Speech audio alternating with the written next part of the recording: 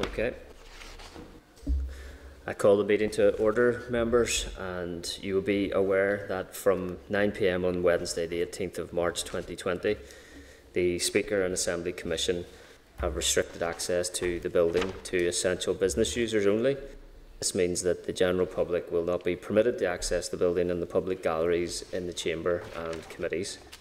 Subject to the usual procedures in relation to closed sessions, any public sessions of the committee will continue to be broadcast live for the public to view. Um, whilst this is not ideal, the Speaker and Assembly Commission have taken this decision in the interest of public safety and procedures will continue to be reviewed on a daily basis.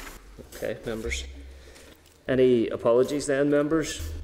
Maurice Bradley, Daniel McCrossan. Maurice Bradley and Daniel McCrossan. Okay. Here. Everyone else is here. Thank you, Clerk. In terms of chairperson's business, then, members, I direct members to tabled items where they will find a revised agenda for today's meeting and suggest to members that the briefing on the 14 to 19 strategy should be deferred and that an oral brief from the Northern Ireland Teaching Council be received in its place today. Members agreed to adopt the revised agenda? Agreed. Thank you. Okay, item 2.2 is a letter from the Speaker. I would direct members to tabled items where they will find a letter from the Speaker setting out the access arrangements for Parliament buildings to which I've just referred. Members content to note the letter and agreed? Clerk? Chairperson, also just uh, within that letter, uh, there's a reference to urgent oral questions. So what the Speaker is encouraging ministers to do is rather than having members ask urgent orals, that maybe ministers will come regularly um, to the Assembly and, um, and uh, make statements. So if members uh, think that's the right thing to do, perhaps they might en- encourage the minister to do the same. I suspect they'll be pushing on an open door, um, but uh, if members wish to do that, so Chairperson. Okay, thank you, Clerk.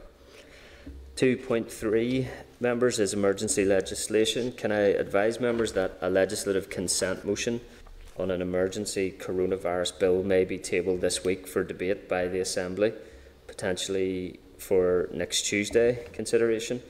Uh, can I ask members if an LCM is tabled on a bill that contains provisions relating to the Department of Education, that the committee would seek to have an additional meeting to be briefed on these provisions prior to the debate taking place? Agreed? Agreed. Agreed.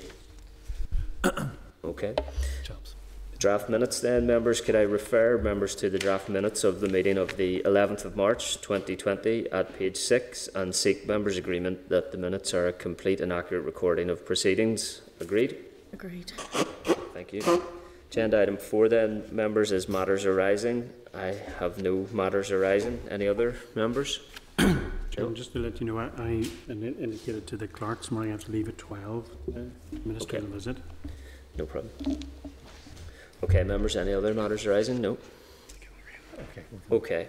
Agenda item five then, members, is the ministerial oral briefing uh, on the coronavirus response and, if time permits, the Education Authority internal audit on SEN.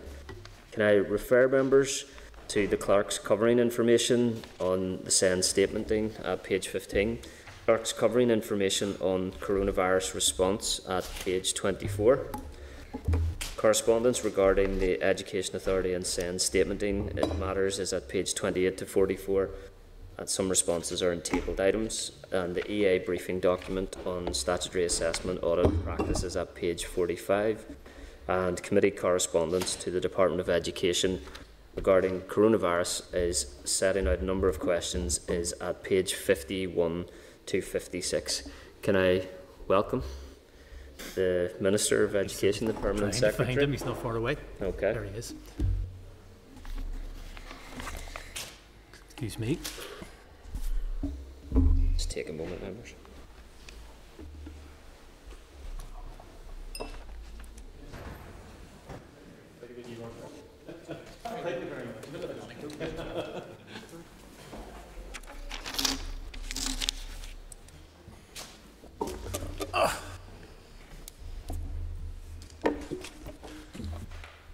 Okay, Minister, Permanent Secretary, you're very welcome this morning. Um, by way of welcome, obviously, when we originally invited you to, the committee today, it was in response to the very serious issue of the Education Authority audit into the SEN statementing process. Um, of course, uh, matters have progressed since then, and we are in the midst of the extremely serious public health challenge relating to COVID 19. I would propose, therefore, that we start with uh, the Department of Education response to coronavirus COVID 19 uh, with presentation from yourselves and questions from the committee, and if time permits, uh, consider uh, the high level issues relating to the EA audit of the SEN statementing process, perhaps with an intention to return to that matter in a bit more detail. If Sorry. you're content Chair, with I that mean, I, look, approach. I'm, I'm content with any way the, the, the, the committee wishes to, to proceed. Okay. Obviously, I mean, in normal times, there would be genuinely, obviously, the SEN issue is a very critical issue. Absolutely, yeah. Obviously, I think all of us facing fairly unprecedented times, and so I appreciate. But uh, I'm happy to deal in terms of the time frame as, as it Sure. develops with. Uh, I think your schedule permits you to be here to 11.30 approximately, is that right? Yeah? yeah, Yeah. Okay. again, I'm I'm in the hands of the committee. Yeah. In Okay, relation to that no problem. sort of. But Minister Permsec, thank you very much indeed for coming to the committee today. Um, you don't need me to tell you that there is a degree of confusion and concern amongst schools and parents across Northern Ireland in relation to coronavirus and COVID-19 response. Um, I hope our committee today can approach that matter with leadership in mind and provide as much clarity um, as we can to the situation. So grateful for your uh, attendance here today, Minister, and invite you to present to the to the committee. Okay. Thank you. Um, thank you to all the committee. Obviously, we're meeting in sort of both very unprecedented times and probably sort of a, a, a critical time, um, not just for those of us in Northern Ireland, but throughout the world. Um, uh, you know, I think for all of us, we will have a, a level of concern and worry as to how this will impact uh, on the entire community. I think all of us are looking in our own minds to friends and family, um, and indeed a fear that before we emerge from this, that, probably all of us, in some shape or form, will be touched upon by this uh, terrible virus. Uh, in terms of the, the approach that we've taken, um, I suppose one of the, the obstacles has tended to be that, and probably continues to be, there's a fluidity of the situation, so that even where advice is able to be passed on, uh, it's not something where, if you like, the department is acting in a silo. We at times will be, in terms of even what we can, instructions or information that we can give uh, to schools uh, and other youth settings, um, that we are at times then dependent upon. very detailed specialist advice from uh, so the medical experts, and particularly the Public Health Agency. There is obviously a uh, desire, particularly on their part, to ensure that anything that is then sent on is is absolutely 100% accurate, and that level of detail sometimes producing means that, that we're not in a position sometimes to get that information as quickly to schools as, as we would like. Uh, clearly, in terms of the approach that we have taken, um, and I suppose very much the buck stops with me, I've personally taken, is to ensure that any action that is taken, any advice that is given, is entirely compatible with uh, the expert medical and scientific advice, as I've said, uh, as I've said before. Um, my goal throughout this, I, I suppose at, at secondary level, is to ensure, we'll, we'll come on to some of those issues, that the education of our young people is, is continuing to be looked after. I think a range of those practical issues will create sort of um, very big problems at times for the department, but they are all probably overcomable, um, as, and particularly as we move ahead uh, as where we are.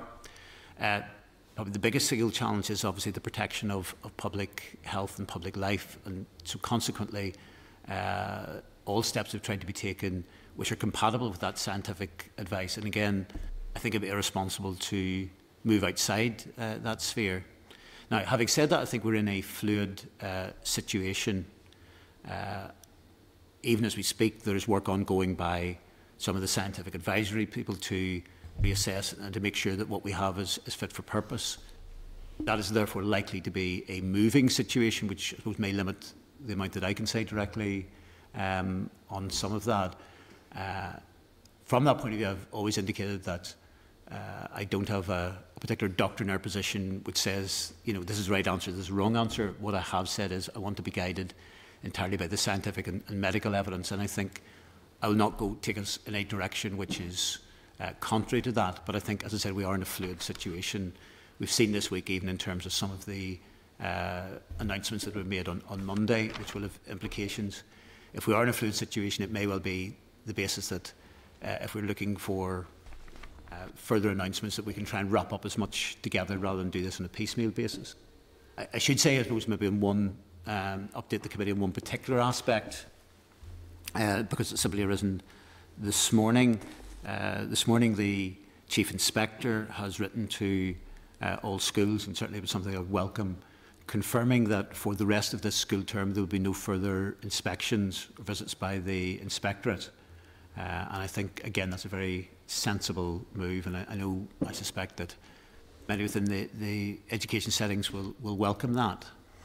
Um, as we move, move forward, obviously there's a number of contingency issues which need to be looked at. Um, it's clear that we will reach a point uh, at which schools will be closed. So there are a number of implications within that. I should say I think we've got to be careful that a narrative is not developed or indeed a misunderstanding that simply saying that schools uh, cease to operate on site means that education stops. That is not the case. And I know that there's been quite a lot of work that's already gone on by schools, and in terms of preparation, we've sent out the, the message to them um, no later than, than Monday of this week that they need to be preparing up materials so that when we reach the point at which school closures happen, um, that they are in a position then to carry on with online teaching, have packs for uh, pupils. Uh, it's important that, that uh, in this horrific crisis that the people don't miss out on their education uh, and therefore that that preparation um, is done. Uh, very specifically, uh, also there will be an examination, again, hope to move forward on this. You know, one of the major reasons, I think, probably the major reason why the broad advice has been to, to keep schools open at this stage has been the, the work that is ongoing in terms of, um, you know, th there's, there's different assessments, if you like, of the particular extent and modelling uh, of the spread of the virus depending upon where children are, uh, whether schools are going. Probably the biggest single factor has been the issue of um, uh, of the impact, if you like, on uh, what parental response will be needed to this, and obviously the particular concern that uh, that unless something is done uh, which gives levels of, of cover and support, that uh, we would see a denuding of uh, particularly frontline services, emergency services, particularly in terms of, of health side of it. So there will be ongoing work to establish that even in the event of um, overall school closures, how can we provide some level of cover uh, for those particular set of, of workers? That, some of that will mean then that in terms of provision, for instance, of childcare facilities and child, of you know, we may be able to accommodate that in some way do it in a way which, because the numbers are, are an awful lot smaller than uh, what would be involved in the broader school population, which ensures that we have all the health and safety requirements that will provide the, the protection of social distancing. So that is something which is, is ongoing and will be ramped up in the days ahead. There are also, again, because a lot of these things, as you can probably appreciate, um, and there will be discussions think, as we speak, which the department is being represented up by senior officials, there is across the executive a civil contingencies group which involves all the departments, is chaired by the First and Deputy First Minister, and also involves a number of the key services, you know, for example, the ambulance service, uh, PSNI, etc. Um, so a lot of the work that, that has to be done ultimately is one that, that cuts across different departments. Um, as such, I think one area which we are working on with health and communities, again in the position in which um, uh, we reach a point of uh, there being sort of complete shutdown um, of how we deal particularly the issue of free school meals. The issue of, think, of getting a warm meal to those who are vulnerable go, goes well beyond that of children. It is actually the, of how we provide that support to vulnerable, uh, vulnerable adults. And there has been work that has been ongoing between my officials and other uh, departments on how that can be best um, managed. I think one of the things that people do need to realise that in terms of um, the cost of free school meals, around about two thirds of that is actually for the payment of the of the workers. Um, it's less than a pound, I think, for the actual food because you're able to have a volume of scale that would be there. So I know that some people have talked about simply some form of voucher system to, to pay for that. I think that wouldn't be particularly practical because it wouldn't, wouldn't cover the money, but that would be dealt with as well on an executive-wide basis and probably, I think, in terms of the broader area of, of feeding the vulnerable, would probably one where the, the, probably the principal direction of travel will come from the Department of Communities. Uh, in terms of, I suppose, other, other issues that are uh, there, uh, obviously there would be a key concern around examinations. Uh, there's been considerable work, and I think Derek will want to, I suppose, deal with a little bit more detail on that, um, whether either in response to questions or I'll, I'll tee him in a minute or two. Um, there's been a good deal of work with CCEA on the options in terms of examinations. Obviously, at this stage, the, the, the principal concentration will be on the, the public examinations, particularly GCSE, AS levels, A levels, um, which will then have an impact very directly on uh, on pupils' future. Uh, clearly, if it's simply an internal examination, that is something that is obviously far less uh, pressing and will not be of particular significance. Um, we are in a good position in Northern Ireland uh, internally because um, we have a situation in which uh, a lot of work, we, we operate the CCEA on a linear model, which means that um, uh, there can be levels of assessment, so that gives us a range of options. The, the preferred option, I think, for all of us is that obviously if we were in a position that schools were operating reasonably normally, or indeed the preferred option across the board in terms of examinations would be exams would be able to be held. But I think there's a realisation that may well not be practical. So there are a range of options that are being developed up uh, from CCEA. I think one of the slight limitations that we have um, is that, uh, first of all, there will be sections of our examinations market that uh, lie outside of Northern Ireland, so there, and things are not as easy in England but also actually that these feed in particularly to uh, examination results and I suppose a competitive process, particularly at, at A level for universities um, throughout the United Kingdom and beyond. And so therefore it's critical, I think, CCEA working with the other examination bodies um, and the examinating regulars, regulators and the universities to scope out what options are there. That's something then that can be fairly applicable uh, across the board. Because again, there's no point in, in a range of our pupils getting particular grades if nobody else is because there wouldn't be any decisions able to be made at university level. I think Derek has some more, more detail um, on that. Maybe I'll leave to Derek. Anything else you want to say on the examination side? No, no I'll, I think that's enough at this stage. Happy to okay. pick up questions. Okay, I, look, I'm sure there's probably something I've forgotten to, to mention at this stage, but I'm sure they'll be picked up um, in terms of questions. Uh, as I said, I would simply reiterate we are in a somewhat both critical situation but also fluid uh, situation. So I'll try and give answers as best we can, but uh, as with all these things, I think there's a strong possibility of events being um, overtaken um, very quickly in relation to any responses or any questions that we ask. Okay, thank you, Minister. Thank you, Permanent Sec. I'm uh, acutely aware of the need for us collectively to demonstrate leadership in relation to these issues. I'm aware of my role as chair uh, as a, a, statutory committee. I'm going to take a very brief moment just to um, state that the separate to my role as chair, that the Alliance Party position in relation to the issue this week was to propose and support proposals for engagement with stakeholders and the allocation of time to plan for a phased school closure from Friday the 20th of March. Having said that, I will ensure that my position as chair of this committee today is as chair of this committee and seek to ask questions and, and guide questions from the members as well then. Uh, Minister, in, in that regard, um, can I, can I start by asking if you know how many schools in Northern Ireland are closed today? Look, again, I think it's my Sorry, not no. today, because the picture is changing, okay? Okay. We can provide that information and we gather that information on a daily basis, but I could give you a figure today and it could be wrong in 10 minutes' time. Okay, well, suffice to say, I imagine that we're all aware that it is a reasonably significant number of schools. um, which suggests, objectively speaking, that the attempt to enrol schools in your position with regards to um, a call to follow expert clinical advice um, is diminishing.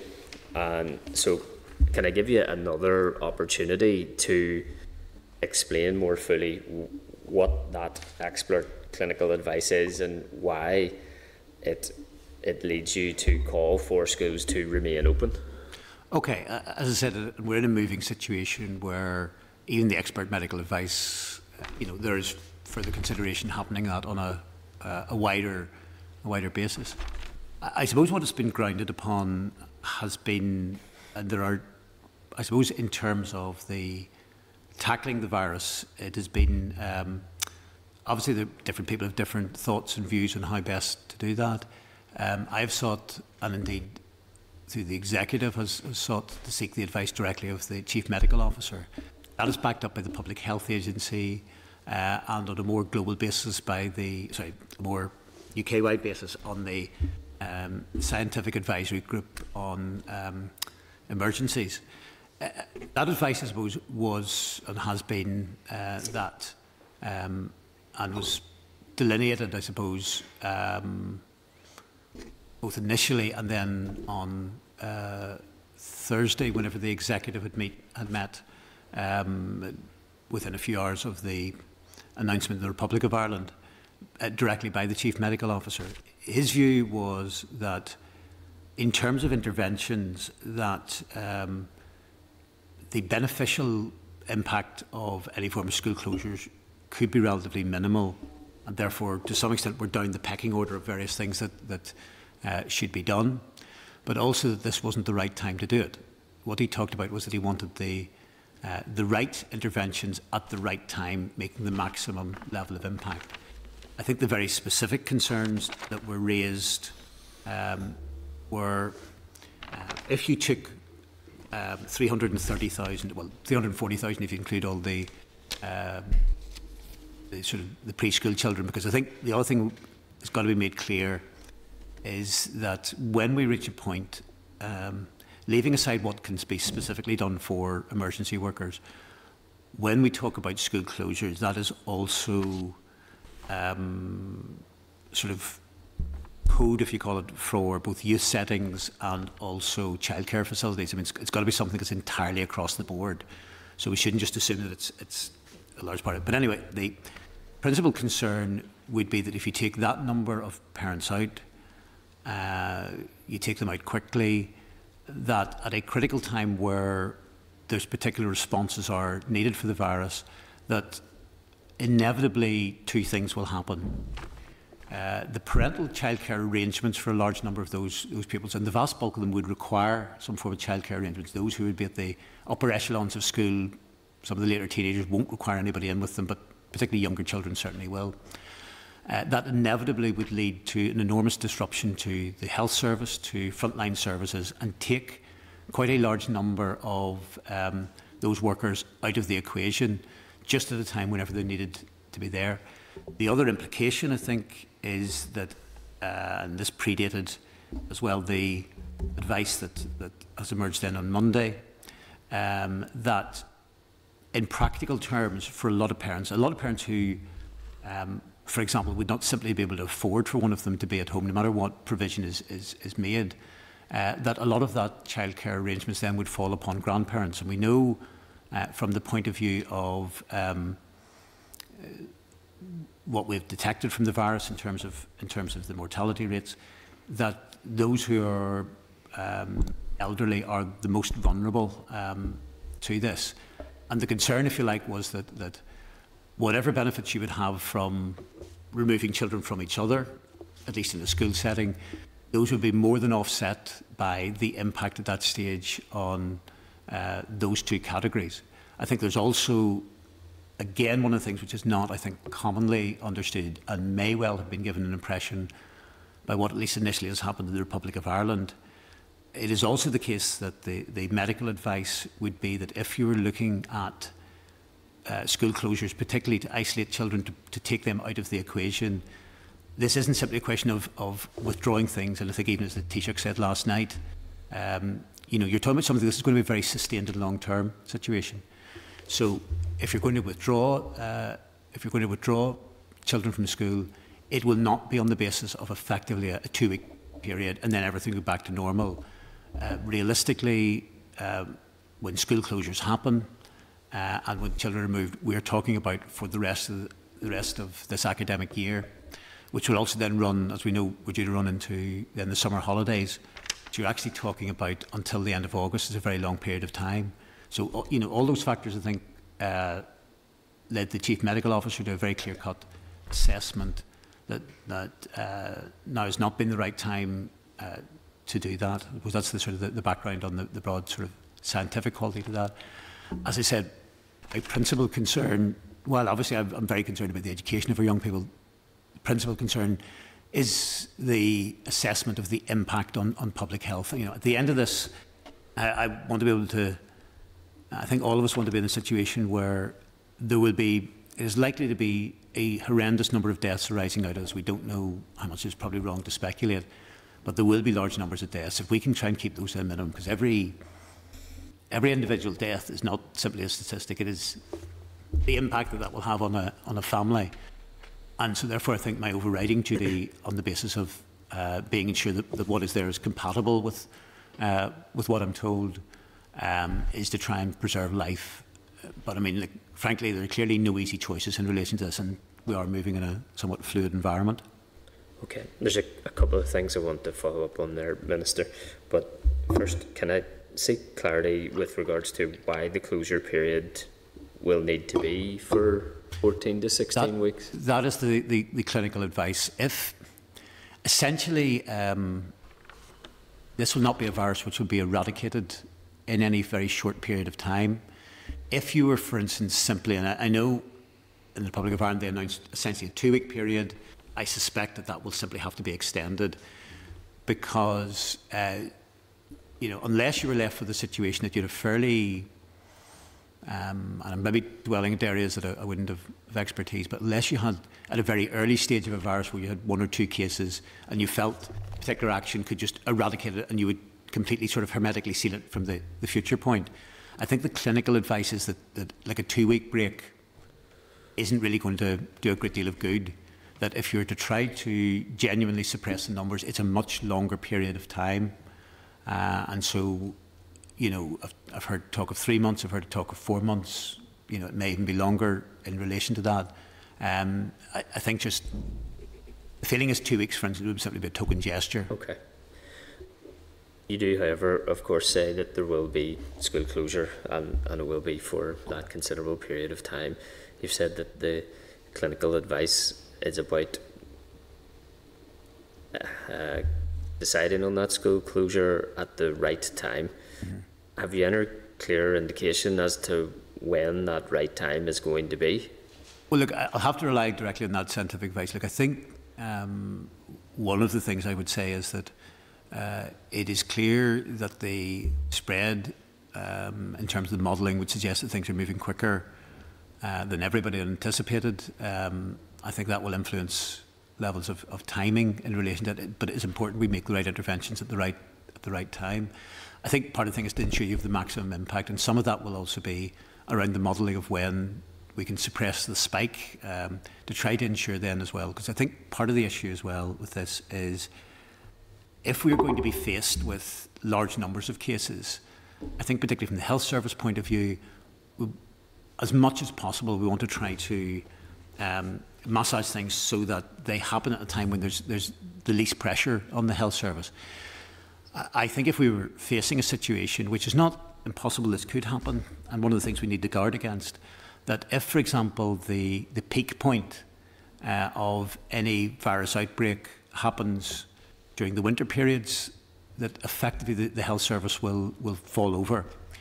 Um, the issue, I suppose, particularly in terms of the potential mortality rate, uh, is not simply as well on the basis of those who die from the virus, but if the, the hospitals are so overwhelmed within that, it will inevitably have a pretty large knock on effect on other mortalities.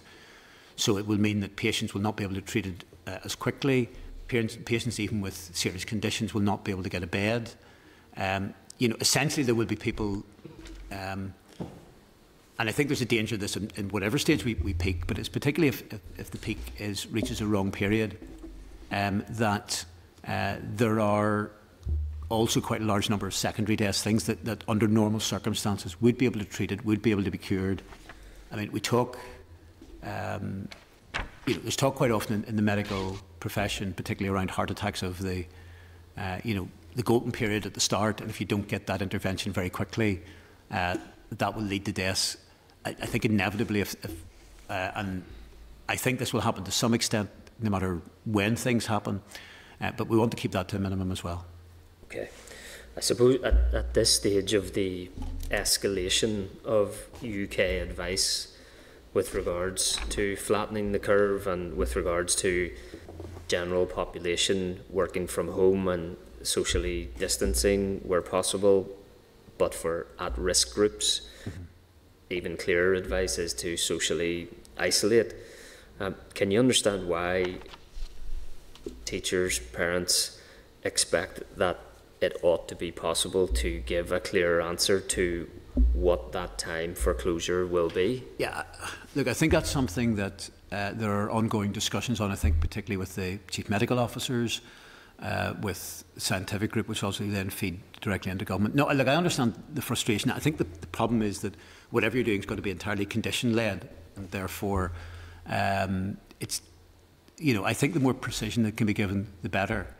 Uh, and I think that uh, where there will be further movement must be on the basis of giving that very clear understanding to people uh, and trying as much as possible to have an overall package of, of, of information.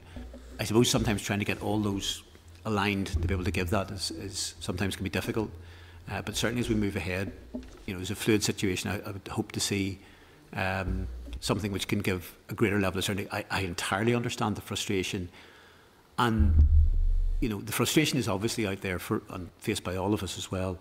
Um, is allied very much with the concern that is there, because this is not a situation where there's just some sort of flu ep epidemic and people are facing being a little bit sick.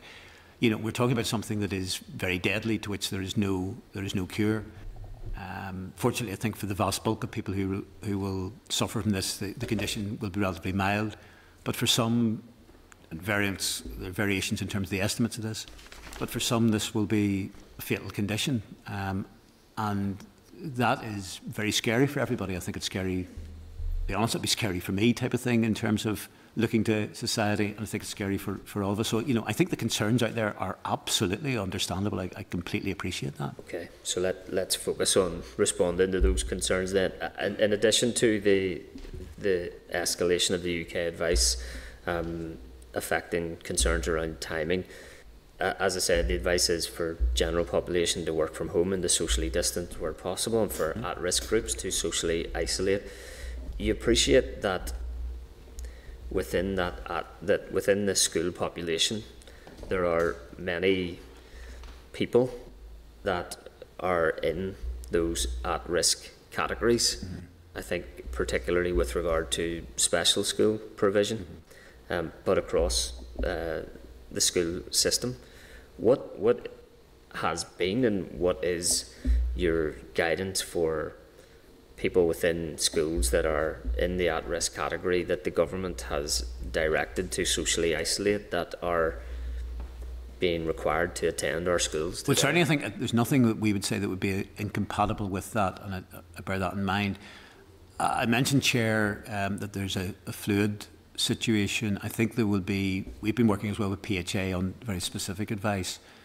Um, we're in a fluid situation. I would hope to see a situation in which uh, there can be um, there can be wider agreement, wider announcements in terms of uh, the way forward in relation to this. And I think uh, it's important that uh, that everything is then brought together within that, that, that position.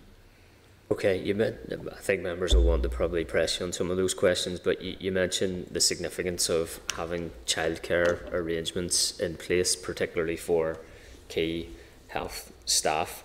What engagement have you had with the childcare sec sector, and what well, plans are being put in place to provide that care. Where, where, I think, where I think we're looking at in relation to this um, is to look at, I think, while obviously the principal focus will be on, on healthcare, there will be other sectors out there that will require um, some level of protection, uh, you know, go beyond that. I think one of the areas that will need to be scoped out, and may well be getting scoped out at the moment, is if we move to a situation of that nature, um, what, uh, you know, sort of which other sort of key workers will this will this cover? I think that's one of the things that will be raised at the civil contingencies group to and try and get some level of assessment from departments. I think we need to assess the numbers that are there.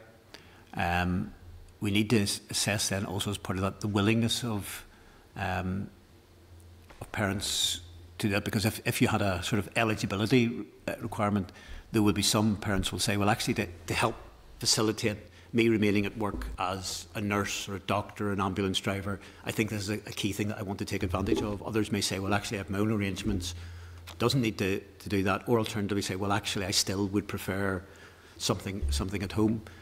Um, I suppose part of the issue with that, when I'm talking about childcare, I'm not simply talking about what can be provided for basically the preschool uh, cohort.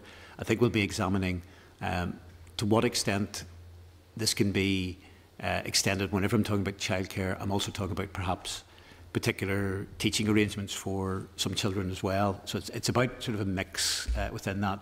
Um, those are still there's a, there's enormous logistical difficulties, and one of the issues, I suppose, with that, uh, it is difficult until we get a degree of handle on what numbers we're going to be talking about.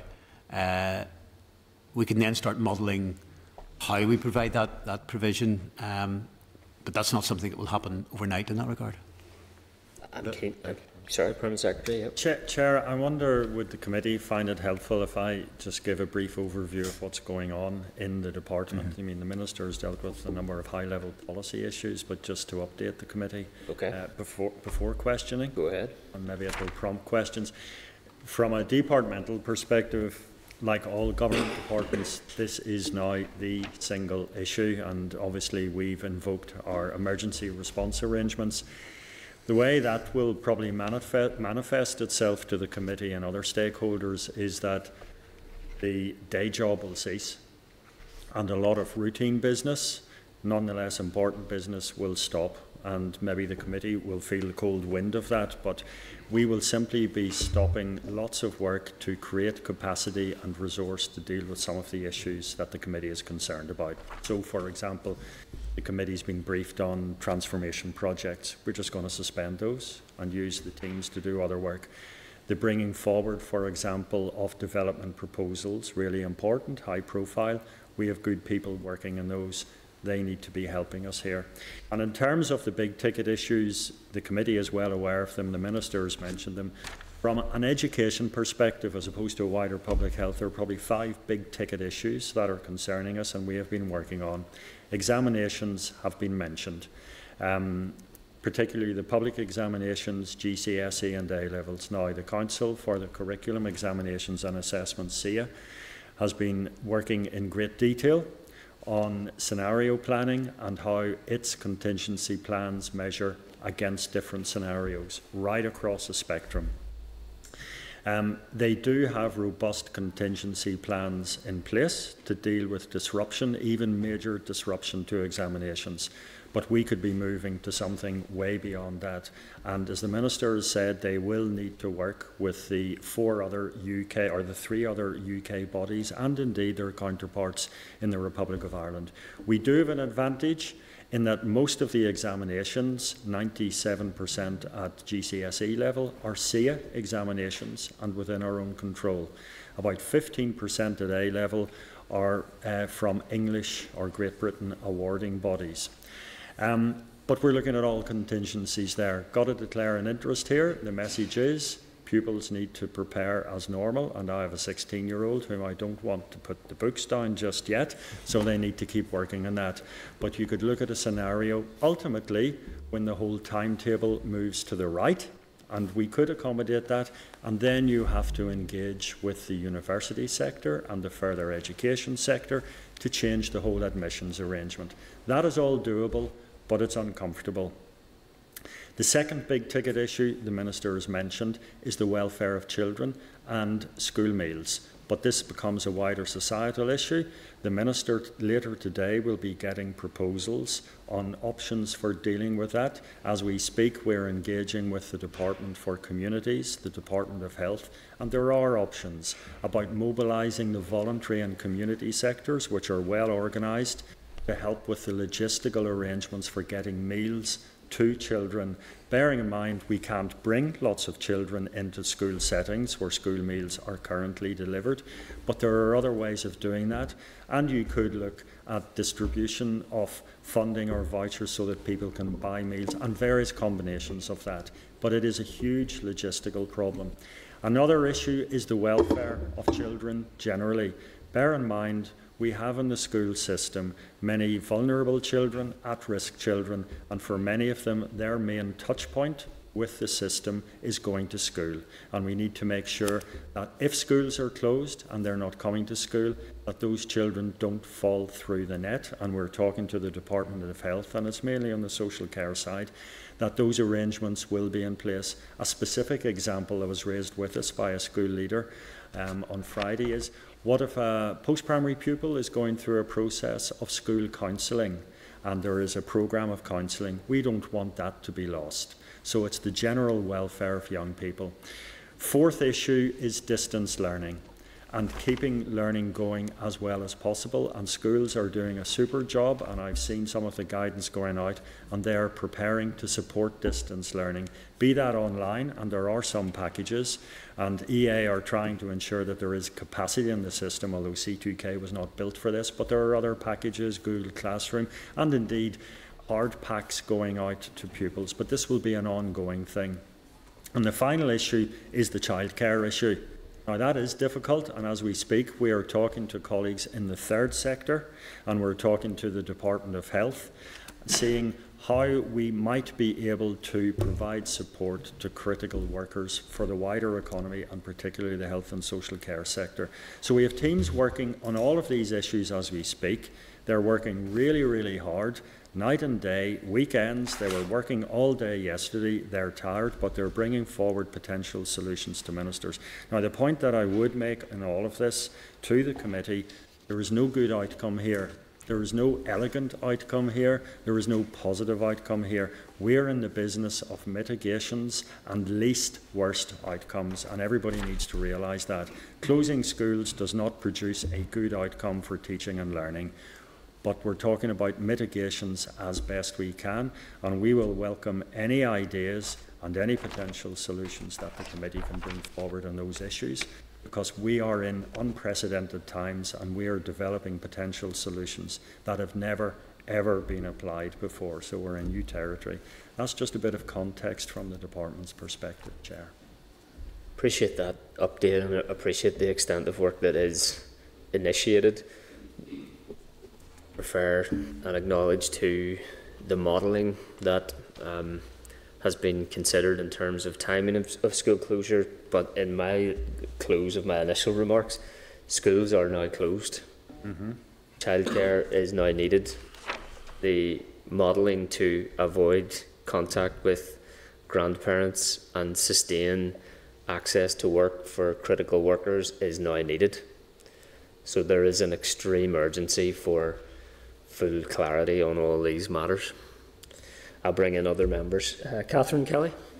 Uh, thank you for being here today. Um, Minister, I believe that you're contradicting yourself in your earlier remarks when you mention um, that there may be a large number of deaths as a result of this virus, but today children are told to go to school. The safety of our children at this time is paramount. It's health before education. And there, when you talk about classrooms, most classrooms across the north have 35 children at least within their classes in a small classroom with possibly two staff at least. How can social distancing be um, accomplished or practiced within an environment such as that? Um, and a few other questions as well, if you want to answer them afterwards. Or okay, no, I mean, I'll, I'll, I'll take each of them as they, they come in relation to that. Look, I understand. I think uh, one of the issues particularly rising out of Monday will be a, a high level of confusion when it comes to the issue of social distancing that has been um, raised centrally. Public, you you know, I completely agree with you, which is why decisions have been taken that have been taken that health, uh, you know, important. While I think all of us accept that education is health comes as the absolute number one priority. Um, the indications given to the chief medical officer and indeed the wider advice is that this is the route which actually preserves the most lives. It is the, the best model. That if you're going to reach a point at which schools get closed, they get closed at the right time. Um, and from that point of view, I can take out that professional advice and the executive can take that professional advice and that's the position that the executive as a whole has, has taken uh, or we can ignore it now that advice because of changing circumstances you know will move on in terms of time I, I don't have a doctor in our position which says I, I want to keep schools open um, you know full stop in that regard it's about actually following that advice and if that advice changes I'll be more than happy to to alter that but you're right look I, I'm doing this on the basis of the professional advice of what is best in terms of the overall health uh, of everybody in that in that regard. So it's it is taken very seriously in that regard, Catherine.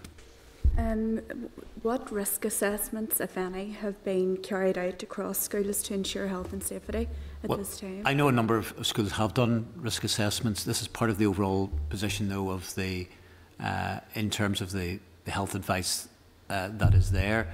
Look, I think uh, I think one of the permanent secretary put it very well. There is no, uh, there is no either perfect solution or indeed good or ideal solution. This is about mitigating. It's about trying to ensure that the overall picture results in the uh, the best possible consequences for public health, or perhaps to say maybe in current circumstances the least worst. In that regard, so that that is where we've been we've been coming from in relation to that. Um, do, does the department hold a list of staff who have underlying health issues and how have they been communicated with? We're not the employers in that in that regard, um, and so therefore ultimately employers. I mean, I'm not quite sure whether they necessarily hold list because again, if you're talking about underlying health conditions, obviously uh, it'll be made clear the the direction of travel of what has been been said. Uh, I suppose it's also a question, different people will have different health problems as whether or not then they fit those particular categories and reach that particular particular level. But we're not the employer, so we don't have a, a full list in terms of the staff side of it. It's not, it's, it's outside our remit in that regard. Well, just another issue to raise, sorry, Chair. Um, Education Authority bus drivers um, in Fermanagh and Omagh, where I live, um, there's at least 200 of them. Um, half of the bus drivers are men and women over 65. Mm-hmm. They're in a high, the high risk category. They are driving sometimes 55 children um, three or four hours a day um, across Fermanagh and Omagh. Will there be anything, any advice? Um, there, the there will be. There will be as part of. I think part of the aim of this and working with PHA, working across the, the wider piece, uh, is to try and very soon have something which uh, actually gives a clearer picture right across all the issues on that basis, and clearly that is one of the one of the key concerns in relation. But I suppose rather than ideally try to do something piecemeal, I want to try and bring that together very quickly uh, across the board. Thank you. Thanks, Catherine. Minister, um, as a, I, had asked earlier, there are people within the school system who are in the, an at-risk group that have been directed to socially isolate.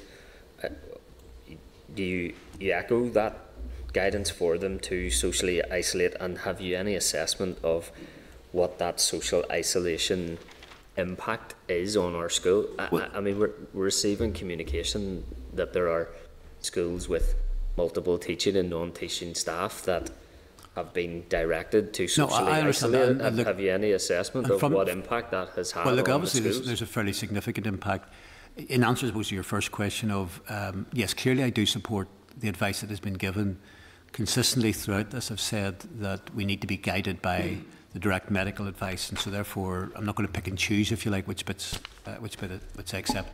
That will itself have a major impact in terms of the ability to deliver education, and will factor into the uh, wider position, which hopefully will become clearer soon. De- Deputy Chair or Permanent Secretary, do you want to come in there? No, no, Okay, no, no. Deputy Chair Karen Mullan. Thank you, Minister and Permanent Secretary, for coming in today. Um, what and what is very challenging times, and um, I know the work that he's have been putting in, and the department um, are working very, very hard. And thank you for the update. Uh, we are here all to work together on this, um, and it is our responsibility to do what is best. I won't go over, we are short in time, what I went over Monday. Peter, I've reached out to you, you know our position. I've also submitted a list of questions um, and we'll add to them uh, as we go along. But there is a few things that I want to pick up on. Um, uh, I, I suppose have listened to yourself over the last number of days and here this morning. Um, is the executive approach a workforce issue and not a health issue? Because we seem to be talking around we have to prepare, we have to keep children in school to allow uh, frontline staff to still go to work.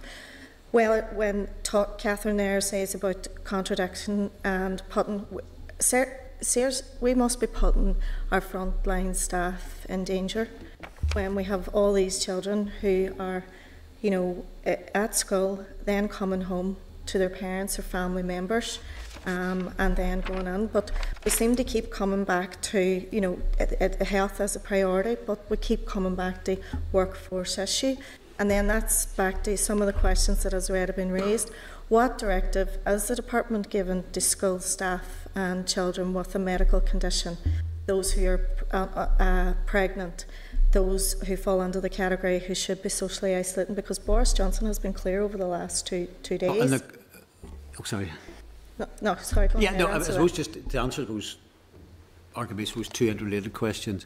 No, I think the focus, uh, if I could sort of say, I know there are differences of opinion, certainly particularly on the aspect of uh, the school closure side of things. There are differences of opinion genuinely held from within the executive. However, I think on the bulk of issues, there's probably a levels of consensus around some of the others.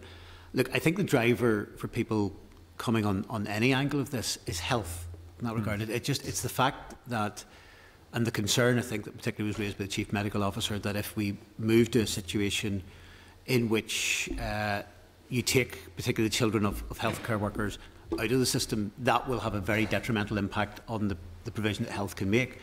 Which is why moving ahead, that when we reach the situation in which school closures do happen um, officially, and I appreciate that there's a lot of schools have closed, uh, that there will need to be, we're working on special provision to have some level of, of catering of, uh, of uh, support um, and care for those who are children of healthcare workers who want to avail of it uh, on that basis. So I think that's that's critical uh, as well. So, in the second point, sorry, I'm Uh, uh, has there been directive? Direct, Oh, yes, has sorry, in terms of uh, the specific yeah. Well, look, we- we've been working, uh, again, I want to see if this can be wrapped up in a, a wider package, but we've been working with the Public Health Agency who've been drafting advice.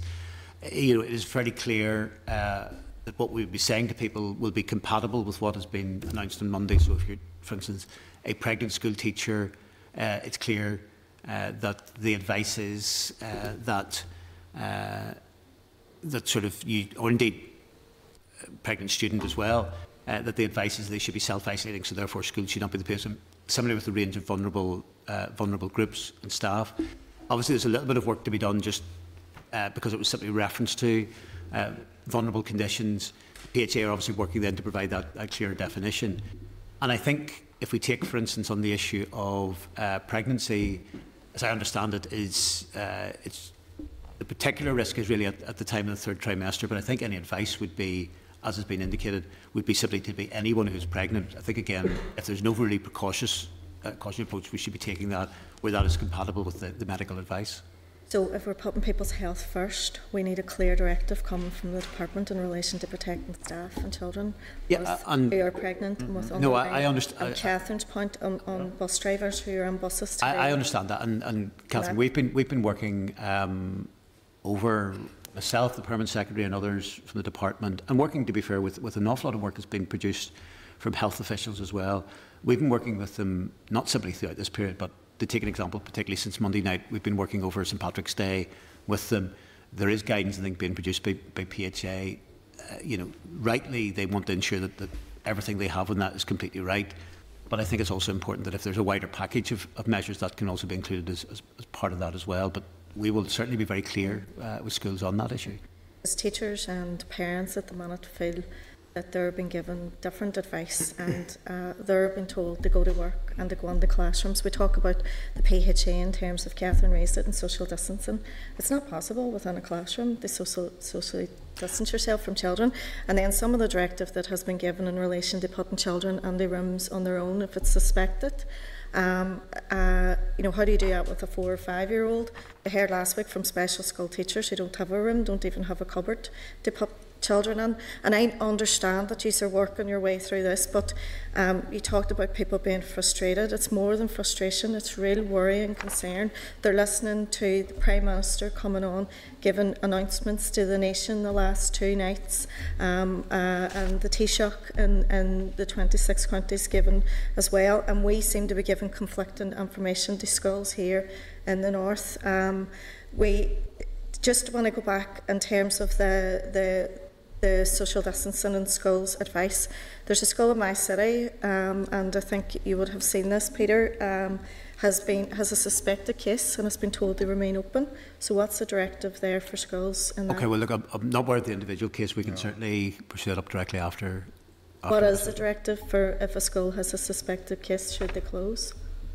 I think sort of should. We take advice from the Public Health Agency right. on that. So, I mean, I don't want to get into specifics because. I don't know what the circumstances are. Well, is it a positive case? School? Is it a, is it a suspected case? Suspected. Yeah, we take advice from right. the Public Health Agency. If it's a positive case? Should, well, then the Public Health Agency will advise as well right. that, and we'll take a decision with the Education Authority and the managing authorities on individual schools. Right. And schools are applying for, you, you know, uh, closures and exceptional closures, and they will all be looked at on their yeah. merits on the basis of the individual cases.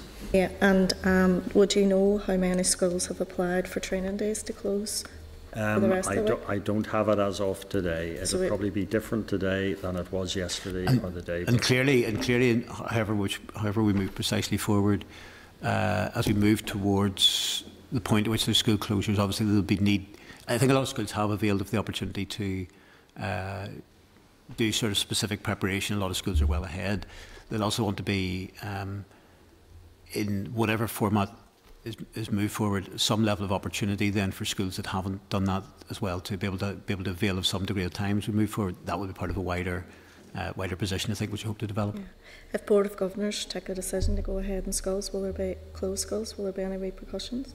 Well, Board of Governors don't have uh, it, the right will lie doesn't lie with directly with the Board of Governors, and we'll also be in a situation where across the board in terms of legislation, you know, there will be a range of things, and I think um, across government there will be actually greater uh, powers being given actually to be able to be able to direct things that will you know I think the other thing we, we've all got to have a level of flexibility as we move ahead in relation to this as well which will mean both in terms of flexibility of response but across the broad public sector um, I suppose in microcosm if you like of the Department of Education where we have taken um, quite a number of our staff and redirected them to those very specific aspects.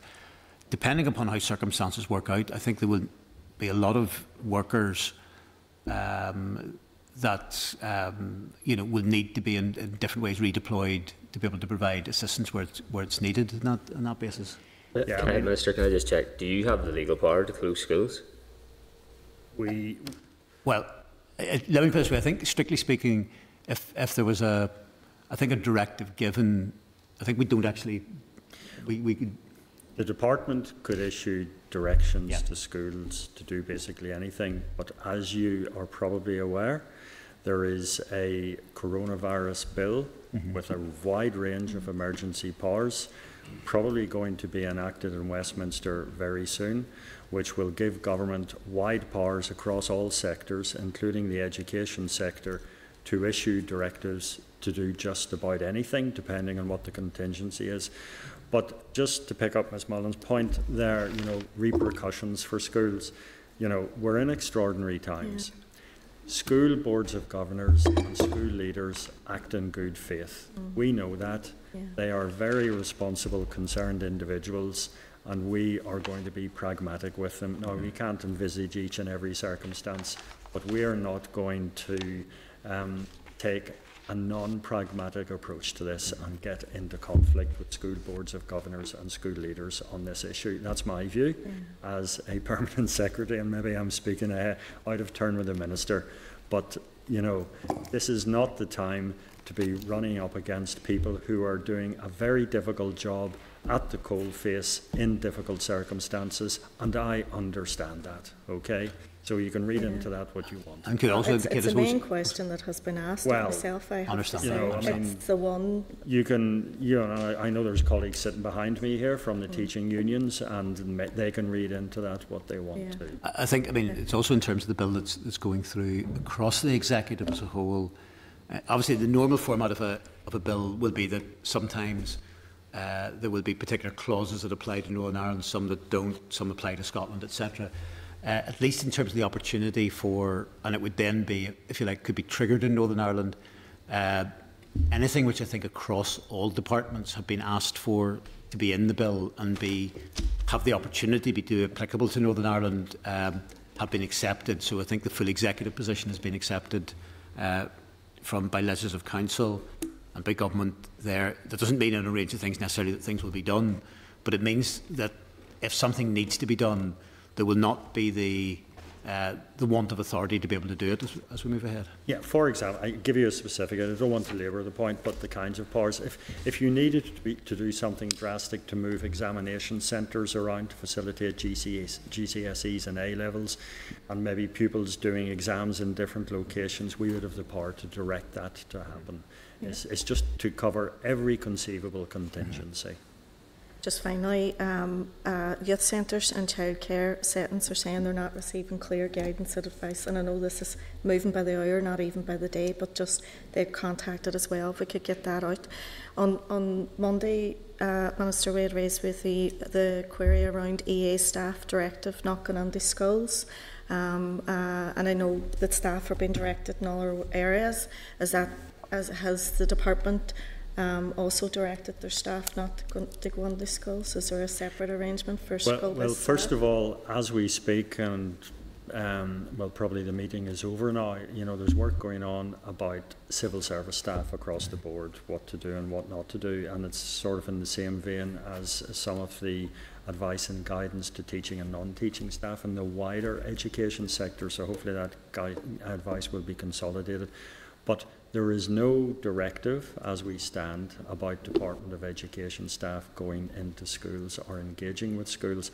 Now, that said, I've already explained that we're, we're withdrawing from all non essential work, and that might mean that we're not going near schools. And as the Minister mentioned earlier, we have stood down with immediate effect all school inspections. Yeah. However, inspection staff, district inspectors who are out there in the communities, um, whilst they will not now be doing inspections, they are more than happy to engage with schools to assist them in the work that they're doing to prepare for distance learning and indeed share good practice across schools, what's happening in one district, what might be applied in another. So we will redeploy them, and the full inspectorate will be redeployed to see where it can add value in dealing with all the contingencies that arise, uh, wherever that might be. It's another resource that has been freed up. Thank you. Okay. Robbie Butler. Thank you, Chair. Um, and I'm sure you would join me in, in thanking all of our teachers genuinely for, for, for working in very Absolutely. And indeed, Robbie, all of our all of our staff throughout the education Yeah. system, because I suppose I, I, I know obviously some of the teacher unions are, are behind me. Um, I, yeah, I thank very much the work that teachers, principals have done. Obviously, that extends to all those who worked um, both in schools, youth settings, childcare settings, a range of. So it's important, I suppose, we don't Yeah, uh, think- we don't sort of ignore anybody in. I think I'm certainly, and I have to declare an interest as, as being on the Board of Governors in a, in a school in Lisburn, that very often our teachers and Board of Governors almost have to carry the role of a, a mini politician with regard to the interface with concerned parents, other stakeholders, other agencies, and the impact that all of these things have. Um, and uh, not to, to steal anybody else's phrase, we are in uncharted territories, and I have sympathy with absolutely everybody and everybody's point of view. And I think the, the reality is that there are no experts in this. The PHA are doing their best, the Chief Medical Officer is doing their best, the, the Minister for Health is doing their best, you're doing your best, and the Minister for the Economy. I actually think our uh, First and Deputy First Minister are also doing their best. Because the reality is, every one of us have children, relatives who will and are affected. And I think this is the moment where genuinely this, this, we have to come together. And I think we are genuinely getting there. So thank you for, for coming here. And I don't envy the position. You couldn't be paying enough to, to do and make the decisions that you're making. Um, and I don't think uh, the line of questioning so far by the committee has been, has been constructive, I think. And I think we're moving very rapidly uh, to the point where some people perhaps know that we're going. But what I would like to, to put on record uh, is thanks for some of the information you've given us today, which I think possibly has been missed. And it's not that it hasn't been there. Sometimes it's accessing the information is the hard bit and no more to, to find it because I think the reality is um, that about 12% uh, of our population is children in primary schools. And you've already touched on it, Minister, with regard to the conditions uh, that when you take them out of school, which will have an effect. Um, and not to labour too far, and I will get to a question. I, have said this before, I was once a firefighter. My wife was a nurse. We had two kids who were in primary school age, and the reality was different then if schools had a closed, because coronavirus changes the, the, the playing field because of where they can go. Uh, Minister, my, my question is centres in and around the executive's approach as opposed to your own approach. And you did talk about uh, civil contingency groups with regard to establishing suitable child minding provision. I think that's going to be absolutely crucial. And I think that's why the, this emergency planning and staged approach is absolutely vital, that we don't crash other sectors of our society, um, whether that's fiscal or social. So the first question is with regard to the direction that the executive group are taking with this. Do you have um, confidence um, that the relevant departmental leads are bringing the, the information with regard to that. It's a wider than education, I get that. You are, uh, our Minister for Education, have a voice in there. Um, that that is receiving enough attention. And the reason I'm asking that is because we do have, whilst coronavirus is incredibly important, we have cancer patients, we have uh, people who are suffering from cystic fibrosis, we have people who are requiring urgent surgical attention, um, we have a, a wider uh, societal wheel that needs to keep turning which is need going to be underpinned because those people are going to need suitable measures for, for, for, not only looking after their children but protecting their children. So, in terms of the executive's approach to that, would you be satisfied? Well, look, look I think the executive, again, while there may be some difference of opinion, I think there's, a, there's clear work going on to try and pull all that together. I suppose from the point of view of, so there's no confusion on the, the subject, uh, you know, we're looking at what can then be provided in terms of those emergency um, workers Uh, I think there are a range of, of actions. There's a lot of logistical work that will need to be done. And I, said, I suppose very specifically, I mentioned the civil contingency group as probably being the best vehicle for this. Part of that will be establishing um, which group of workers this applies to. Now, there are obviously a wide range of, of frontline hospital staff um, who are key to, to getting that element of things, but there are other things, and I think the aim will be to try to each department to identify that. Uh, the civil contingencies group um, met, I think, for the first time last week. at It is meeting literally as we speak. Uh, now, if, had I not been, uh, Derek and myself not been here, we'd have been at it, but there are senior officials from the Department of Education uh, who will be there. And that will contain not simply the department, but also certain the departments, but a few arm's length bodies as well that would be particularly relevant. I think part of the aspect is it is pretty obvious you can identify a range of groups who this should obviously apply to. Are there other groups that, were, that are not being thought of? We need to make sure that we've got a holistic picture. I think there will then need to be a level of exercise done to establish, um, if you like, from the point of view of parents, who would have um, applicable children in that regard, because you know not everybody clearly in uh, in that emergency situation, or you know, take yourself as an example. Had you been a few years ago, this would have applied to you. It doesn't apply now, and also then establish then if there is a level of demand, what that level of demand will be, and that will then sort of be tailored. And I think civil contingency group is, I suppose, is the one particular aspect would be to send the message out to each of the departments of can you identify which particular groups uh, that are that are there. Mm -hmm. No, no, thank you for that. I think it's really important. There's one, I mean, the information is, is arriving almost at, by, by the time we go out of here, something will yeah. I mean, I, I, I mean, obviously, yeah, that's right. I mean, there may well be some developments that, that all of us are just sitting here. We're not. I know, just un- unfortunate that and, and when, when Boris gave a speech the other night, almost instantly businesses, some businesses closed, and certainly in Noan Lagan Valley in Lisburn, some um, nursery provision and some daycare centres either are on the verge of turning the key to close their doors or are, certainly thinking, and there's some huge investment that some people have made in that. And I think in that civil contingencies part, that, that's a piece of the part of the jigsaw. I think It perhaps for. Um, um, and I'm, I'm keen to point out that we all recognise that teachers aren't childminders, that they play a, a different function. Um, with, there was, there was a bit of information that was shared earlier with regard to food poverty and, and, the, and, the, the, and you touched on the counselling piece and I think I'm just interested to know in terms of the, we've been talking a lot about mental health and the reality is that social isolation, Yeah. uh, one, of the, Yeah. one of the most significant um, negative uh, unintended consequences is going to be perhaps a spike in an already um, giant atmosphere of poor mental health across uh, Northern Ireland. And this has a, uh, we have to think about this. Um, has there been any thought with regard to not just the counselling piece, but also the contact piece even? Yeah, I Um, mean, there, there, might- there- there has been some thought and some work ongoing. I mean, I think part of the stuff is, and again, look, I think part of the stuff when we talked about as well, there's no, we're trying to mitigate, but there's no ideal solution. I think probably sometimes you're trying to solve things that sometimes will take you in different directions. And so part of stuff is you want to have as little contact as possible, but then you're trying to get. Now, there are very major problems beyond simply the education piece. Yeah. There will be very major problems out there um, because of the need for levels of isolation. You know, I, I know the police have expressed concern that while, if you like, if, if the streets are emptier, there may be less sort of on-street crime type uh, situation. But there's a real danger that we're going to see domestic violence go through the roof. Um, families as well that are, are closely confined with each other will be, and that will produce threats for, for children as well, and a whole range of, of issues. I mean, you're right in terms of social isolation. Um, I suppose looking at the other end of the spectrum on that, on that basis. Uh, Can I, can oh, I just add, I mean, it, it brings us back to this point that there's no good outcome to schools closing. Uh, young people going to school every day, apart from the benefits of learning, it's the social contact, it's the friendship, it's the extracurricular activities that schools do a fantastic job in, it's the sport, the music, the art, everything that goes on, school trips, that will stop.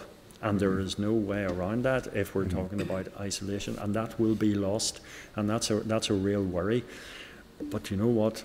For the life of me sitting here right now, I can't see a sensible mitigation to that right now if we're into major social, social, social isolation.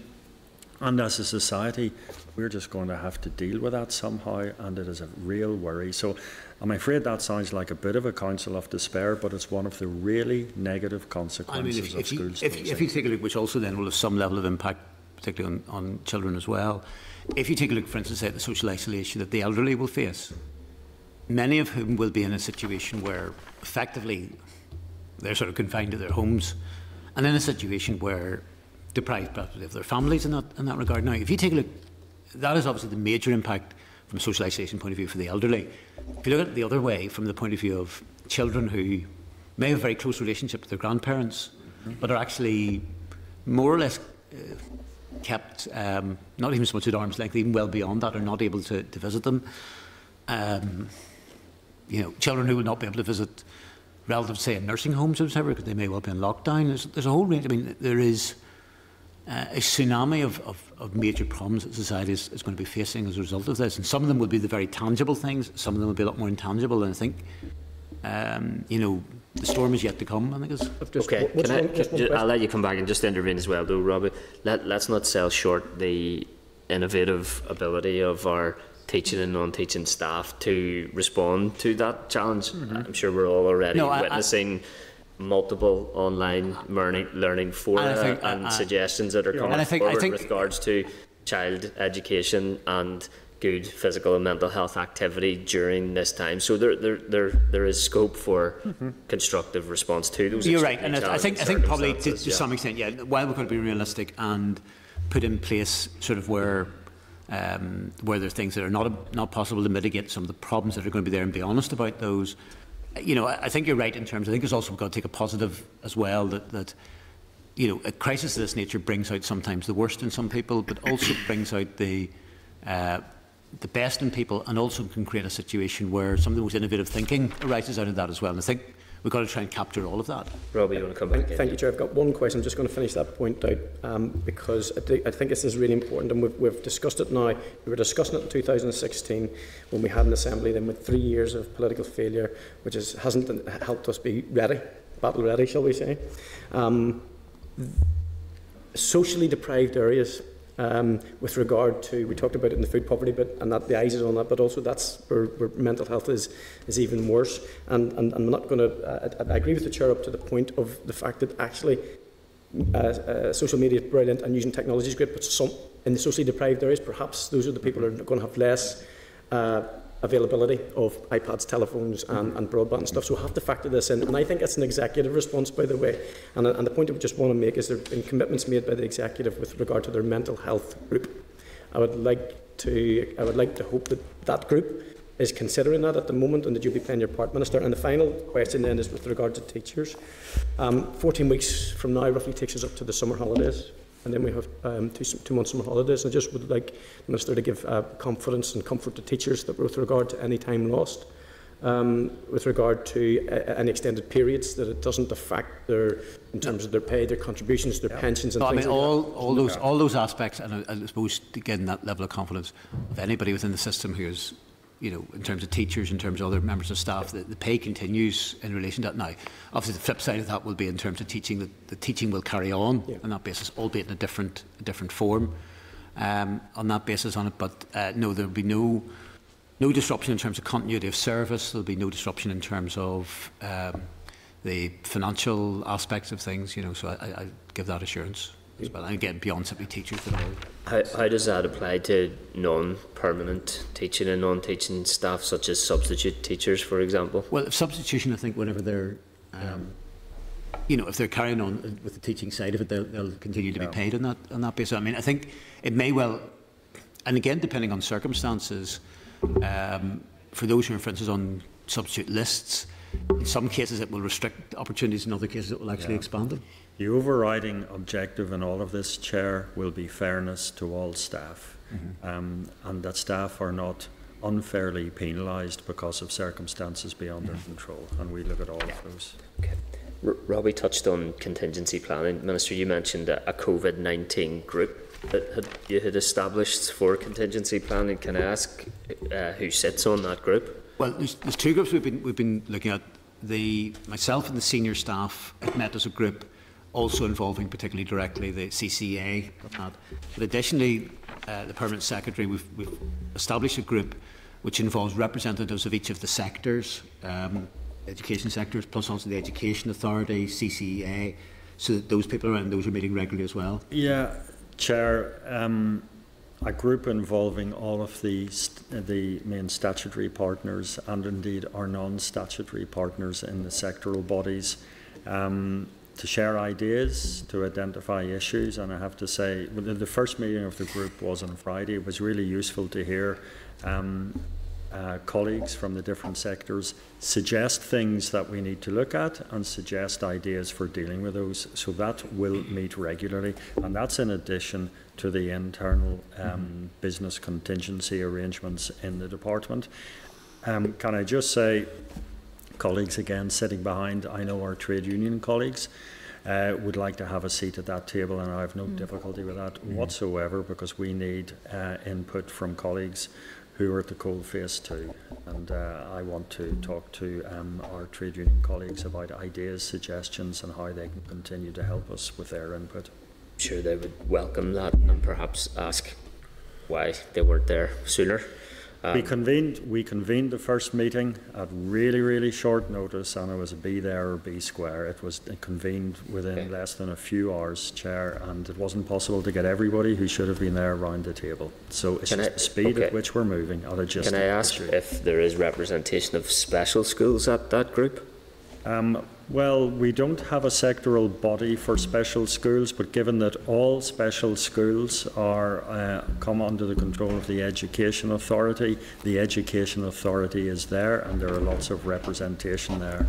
Um, we don't have separate representation from primary schools or post-primary schools or special schools, but we have all the managing authorities round the table, including non-statutory bodies like the Governing Bodies Association. Can I make a suggestion, given that you did ask for suggestions earlier?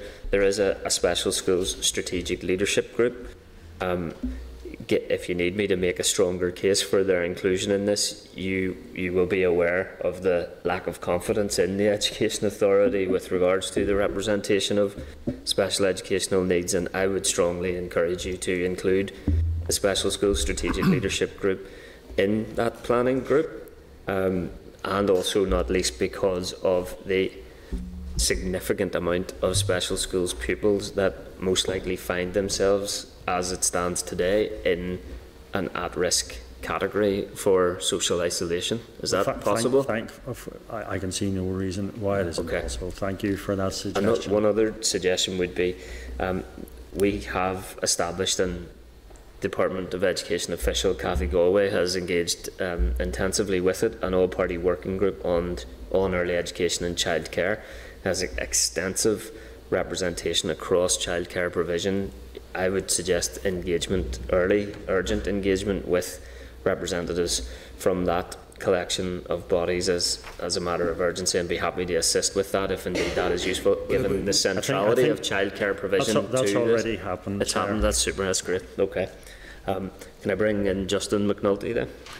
Thank you, Chair, and thank you, Minister and Permanent Secretary, for coming before committee. I know you are uh, under huge pressure, and um, so thank you for taking the time for coming today. I also want to applaud, applaud the um, principals, teachers, and teachers' unions for taking a measured approach to this crisis and trying to act as one, which I think is, is uh, very important in the midst of this crisis. The UK government have adopted a different approach to the rest of the world, and contrary to the World Health Organization rec- recommendations, experts who have experience in Wuhan, in China, and in Italy are saying adherence to this herd immunity approach is reckless and is going to cost lives. The whole world is social distancing, and you're telling us it's okay to pack hundreds of thousands of school children's classes into 30 by 30 classrooms, recognising that children are vectors. We know that children will probably survive and will be, able to cope with this virus if, if, if they get it. Um, but it's about more than them. It's about the vulnerable people they come into contact with on a daily basis, be it parents or grandparents. Expert medical and scientific advice and how how, how can we've how can that be so different between Crossblay and Castleblayney? I've, I've asked that to you, Minister, before, and please don't tell me that's the same as between Larne and Stranraer. It's clear that the UK government is making decisions in accordance with school terms in Britain, which are different to the school terms here. Can you give some clarity around that matter? No, I, Principal, school, school, school terms are largely speaking, I mean, there may be a slight variation on the odd day here and there, but broadly speaking the same. I mean, the, the one issue, I suppose, is that particularly in England, the, the school term moves a little bit into, into July. Um, uh, but broadly speaking, you know, the same general format of uh, like a call it sort of autumn winter term, spring term up to Easter, and then a the timings are between different. Easter and, and My understanding is the timings are, are quite significantly different No, in terms of start dates and finish dates for school terms. Not not to any great significant level. I would, I would have thought in relation, and I don't I don't think uh, that that's you know whether I don't know for the sake of argument that that in 2020 um, you know schools started on the the 5th of January here and started the 6th of January somewhere else. I mean, the, the reality is actually there's a little bit of variation, even in terms of school dates, and, uh, a little bit of flexibility. Sometimes the frustration of parents, um, even between schools here in that regard. So there isn't a significant, um, any level of significant difference. I, I'm not quite sure how that. I mean, the only issue that potentially would play into as we move ahead would be what some of the scenario planning around A levels, um, because depending upon what approach is taken to public examinations. But out, outside of that, I don't think any of the term dates has any particular bearing on um, any thinking in, in, in relation Okay, well, to I stand to be corrected on that, uh, Minister, but my understanding is that the school terms are significantly different in uh, the north and across the water. Um, Well, I mean, no, there- presumably term, terms will be, uh, yeah, different between Northern Ireland and the rest of the world. There'll be a wide range of, of, of, of different dates. But again, I'm, I'm not sure there's a particular, the term dates are particularly in any way significant in terms of the timing of this. Okay. Um, Principals, teachers, parents, they are already voting with their feet. The Taoiseach last night spoke about the calm before the storm. The storm is coming. In the throes of this crisis, when we've already lost discipline, when we're already not conforming with, with direction being given from our leaders, our ministers, our, our, our First Minister, Deputy First Minister, if that's happening already, when the storm arrives and we have lost that discipline, we've lost that conformity of behaviour and calm, that discipline cannot be reinstated. So I think that's a consideration needs to be thought about. Um, we need social obedience as opposed to social disobedience, which can be impacted by these decisions around school closures. Five teaching unions are imploring you to close. They recognise that this is a, a public health emergency and they would hope that you would hear them on that. Parents should not be left thinking that they have to make a judgment call knowing that they have a vulnerable child at home or have a vulnerable adult or um, grandparent around home. It needs to be called this week. Teachers need time alone in their classrooms to prepare lesson plans, book work for offline and online lessons away from school for their pupils. Schools have been empty now for a number of days, which means that schools are most likely safe places, and teachers who may have vulnerable conditions, may have vulnerabilities, feel safe going to that school if they remain closed. That's a very important consideration.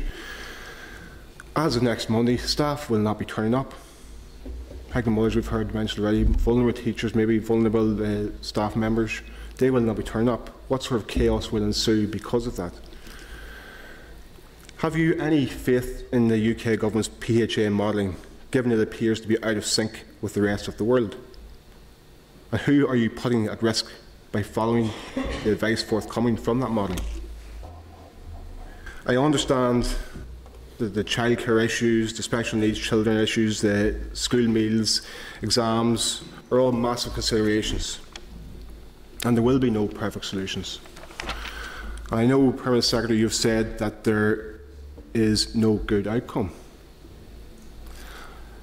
Um, but there is a good outcome to school, schools closing. There's a good outcome to schools closing if it saves lives.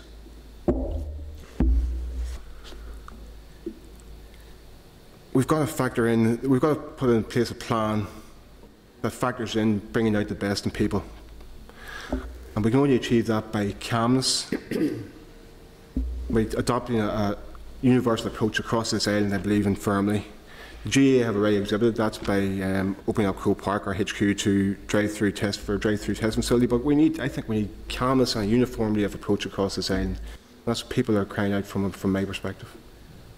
Okay, I think that's, if that was an exam question, it would probably be discuss in that There's, a few, there's Um, a few questions. There are there are a few questions ahead, in there. I mean, I suppose maybe to pick up. I, look, I agree with you in terms of calmness. I think that has not always been particularly displayed. Unfortunately, not all elected representatives have acted Yeah, always yeah. entirely responsibly as, as well in relation to that. Um, you're right in terms of preparation time, and I think in terms of when we move to the point where schools will close, will, and a number of schools have used some of this already, there will need to be specific preparation time for teachers and uh, to be able to operate within schools to prepare up some of those. I think I think that's without um, without prejudice. Look, I, I've made the. First of all, I don't have any particular doctrine or view over uh, where we follow. You say there's, you say there are good outcomes. I think any outcome which is pursued is not wholly watertight. Any op- uh, option that is pursued will have negatives as well as positives. It's a question of where you see the balance uh, within that. And to say, for example, simply if you close schools, there, that that is simply a positive outcome, which is no, um, which is entirely risk-free. No, there are, there are downsides to doing that. It's a question of working out where the balance lies within those. Um, you mentioned uh, the issue of herd immunity. Now, to be fair, I think even to the UK government, I don't think that's been anything that has ever been used by that. It's not something which in any way motivates or indeed is a view that would be shared uh, by the executive or myself in that regard. The specific decisions that have been taken have been taken on the basis of the advice of the, of the Chief Medical Officer. The Chief Medical Officer will be in close liaison with um, uh, his counterparts both within the UK and within the Republic of Ireland.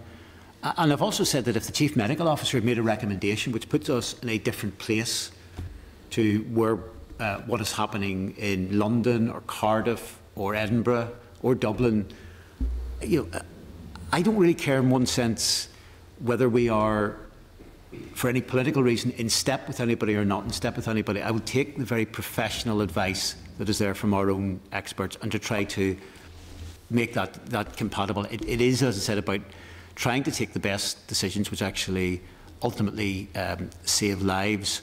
Um, as I said, we're in a fluid situation, so advice, uh, you know, in terms of what the, the best balance of those things, I'm sure will be changing, and I will move um, with that. I think it is important also that as much certainty is given to people and as much preparation time is also given as well. That's got to be based upon the conditions that, that are there, but that's what we'll be seeking to do across the board as we, we move ahead. I can't remember that was all the questions you, you asked, but... Conscious we're Okay. almost out of time, but Justin, if you want a brief supplementary, happy to bring you back in there, and then we've got William and I should say Robin sorry as well. I mean, look, the other thing as well, different governments have taken di slightly different approaches throughout the world.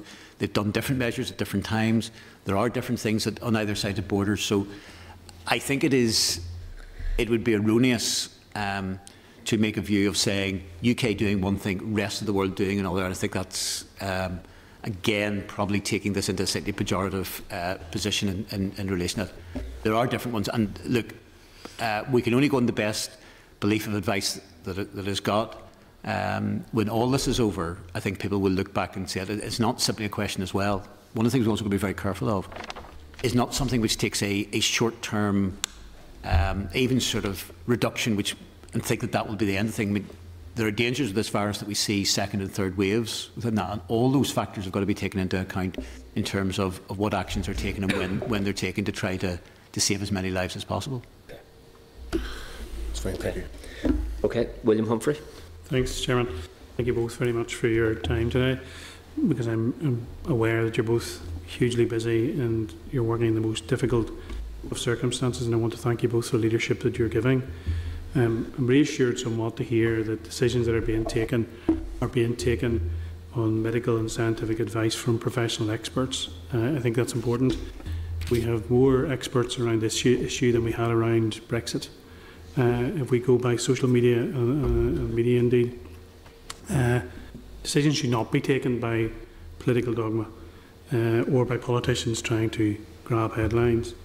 But the one thing I would say is that the clarity of message is absolutely important and the consistency of that message. So mixed messages are highly dangerous and grossly irresponsible.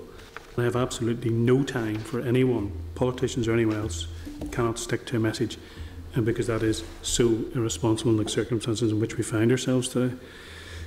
Derek, can I just ask, in terms of what you talked about earlier, in terms of the community sector, mm-hmm. I had some phone calls yesterday from people who are working in the community sector terms of jobs and projects and so on, about fear of their continuation uh, and roles and whatever, and the, and the threats that there are to the community sector. In fact, I'm going to a meeting this afternoon around some of those issues.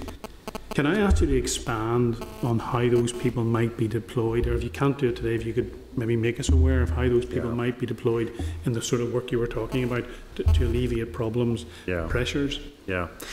Um, I probably can't go into detail because I haven't seen the detail, Okay. so it's conceptual at this stage. But you're absolutely right. There, there, there are um, particular areas of Northern Ireland, well, probably right across Northern Ireland.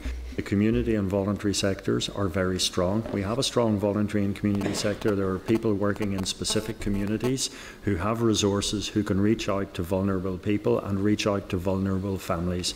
And you know that best in your own constituency. And we do work with some of those organisations in the wider educational field. So, for example, um, could we envisage a situation where meals are prepared?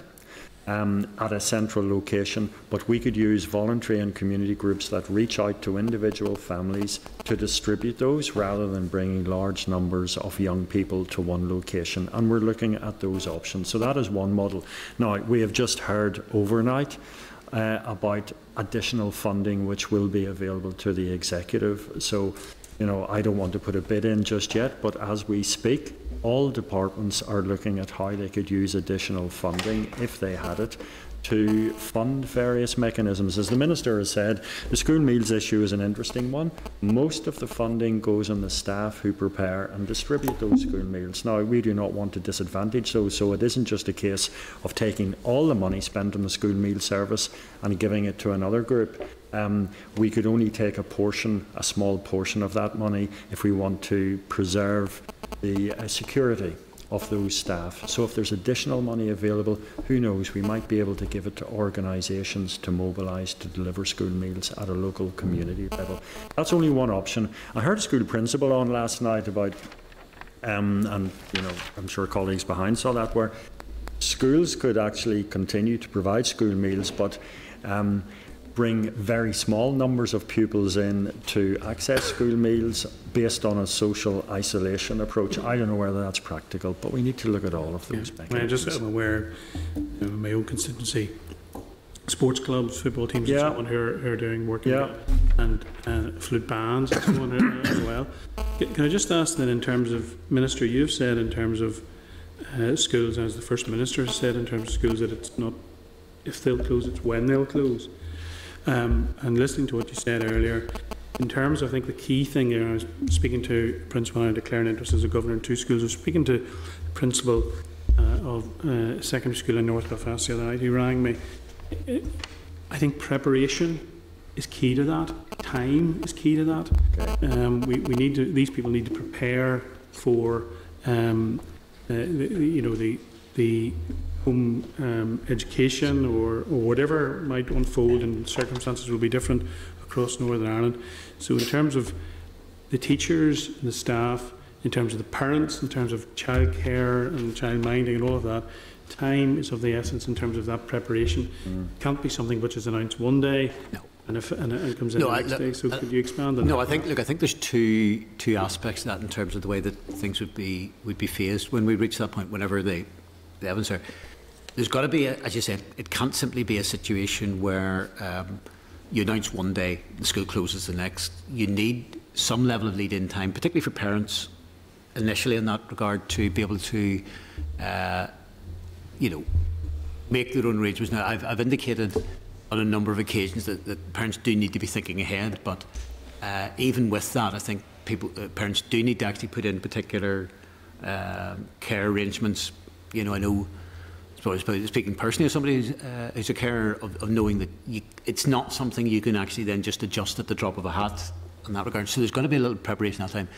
I suppose the second phase within that, and I think you can sequence these things, is to reach a point at which there is the the uh, the end of, if you like, of pupils going into the school as part of that uh, closure, but but also then allowing additional time beyond that uh, for the uh, the staff, the teachers, to be basically adding to their preparation in terms of lesson plans, in terms of, you know, and whether that's through uh, staff development or school development or the, um, uh, you know, exceptional closure side of things on it. Again, there'll be a bit of sense of flexibility. So it's, it's kind of two buffers before you reach the point where, in, if you could sort of say officially the, the school is closed. Um, and also, I suppose, arising out of that, there would also then need to be a look at uh, what we do in terms of the broader teaching and care arrangements for um, those children, particularly mentioned in terms of the emergency services. So that would be something that would then happen subsequently uh, to that. I think it's, it's best that we disaggregate the, the, process a little bit in that in that regard.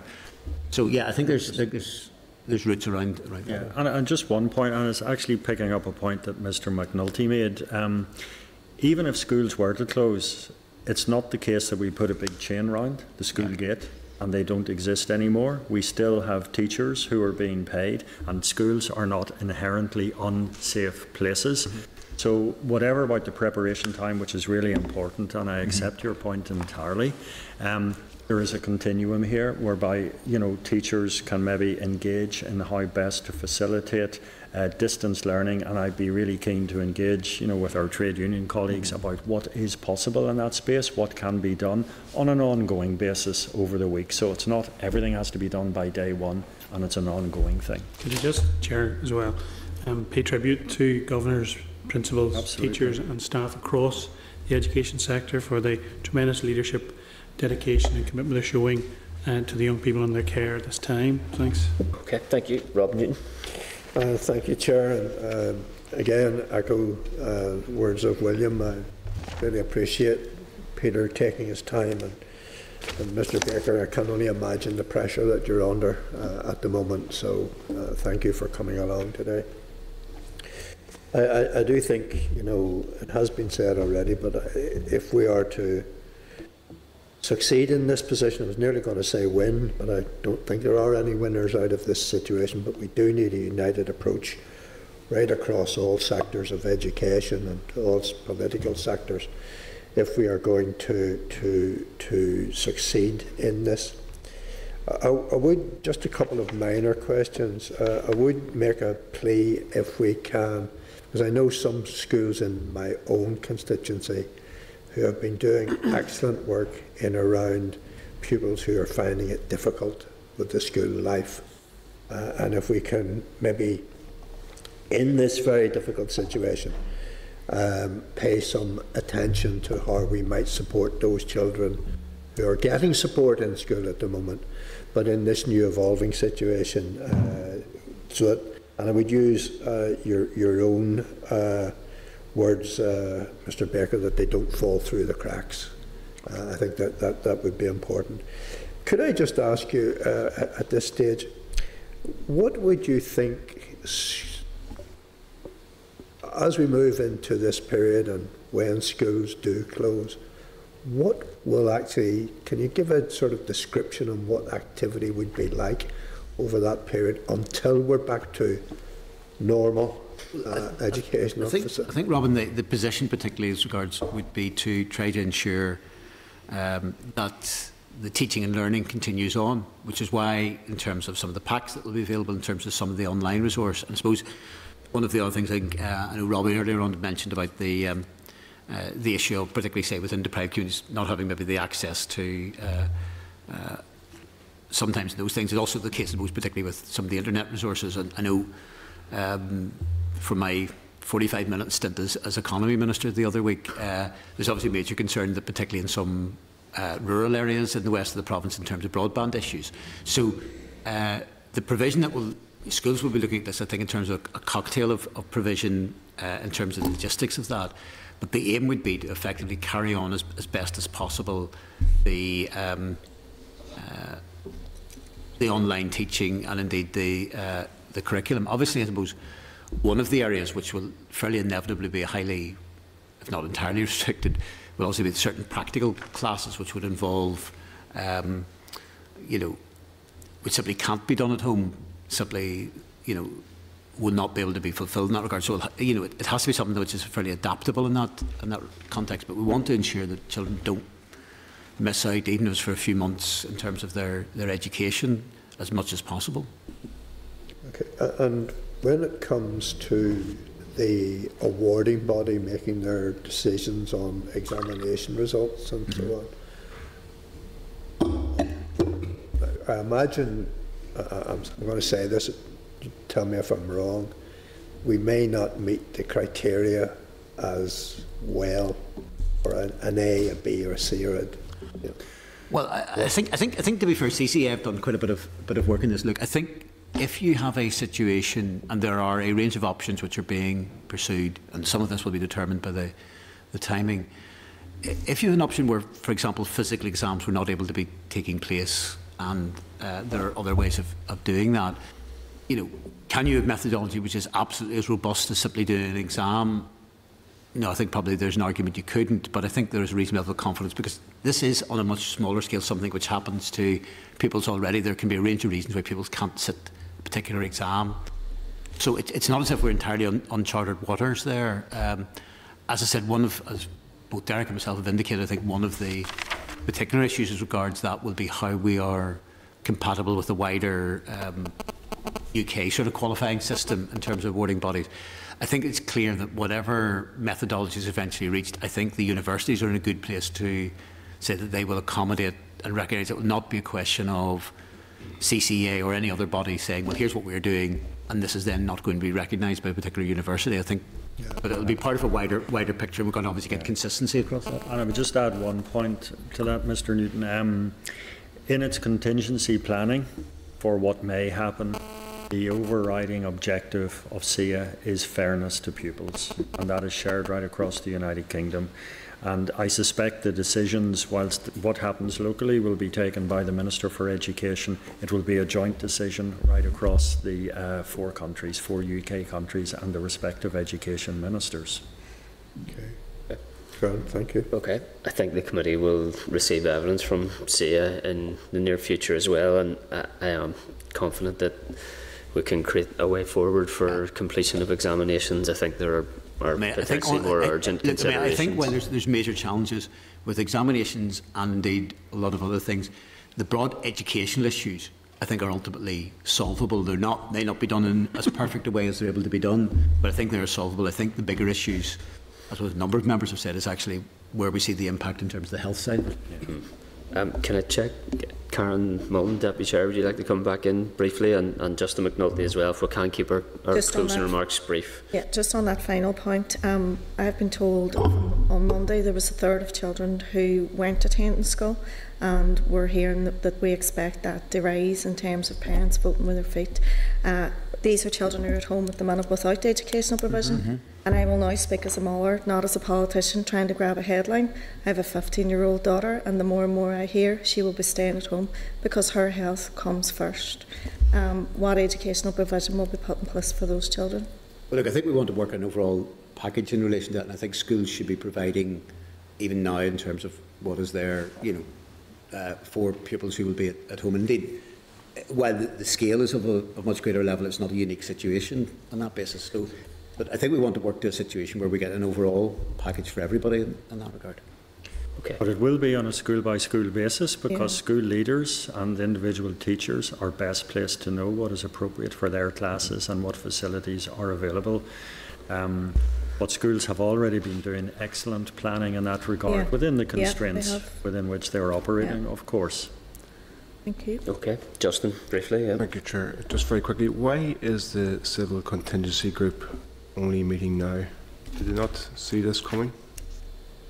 Well, I think, look, I think there's been ongoing work between uh, departments. This is not the first meeting today. There's been other meetings. Certainly, was meeting last week.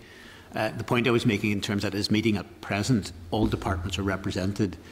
Um, had the Education Committee not been sitting, Derek and myself would have been at that, but we have senior officials uh, from the department uh, at that. It met last week too, by the way.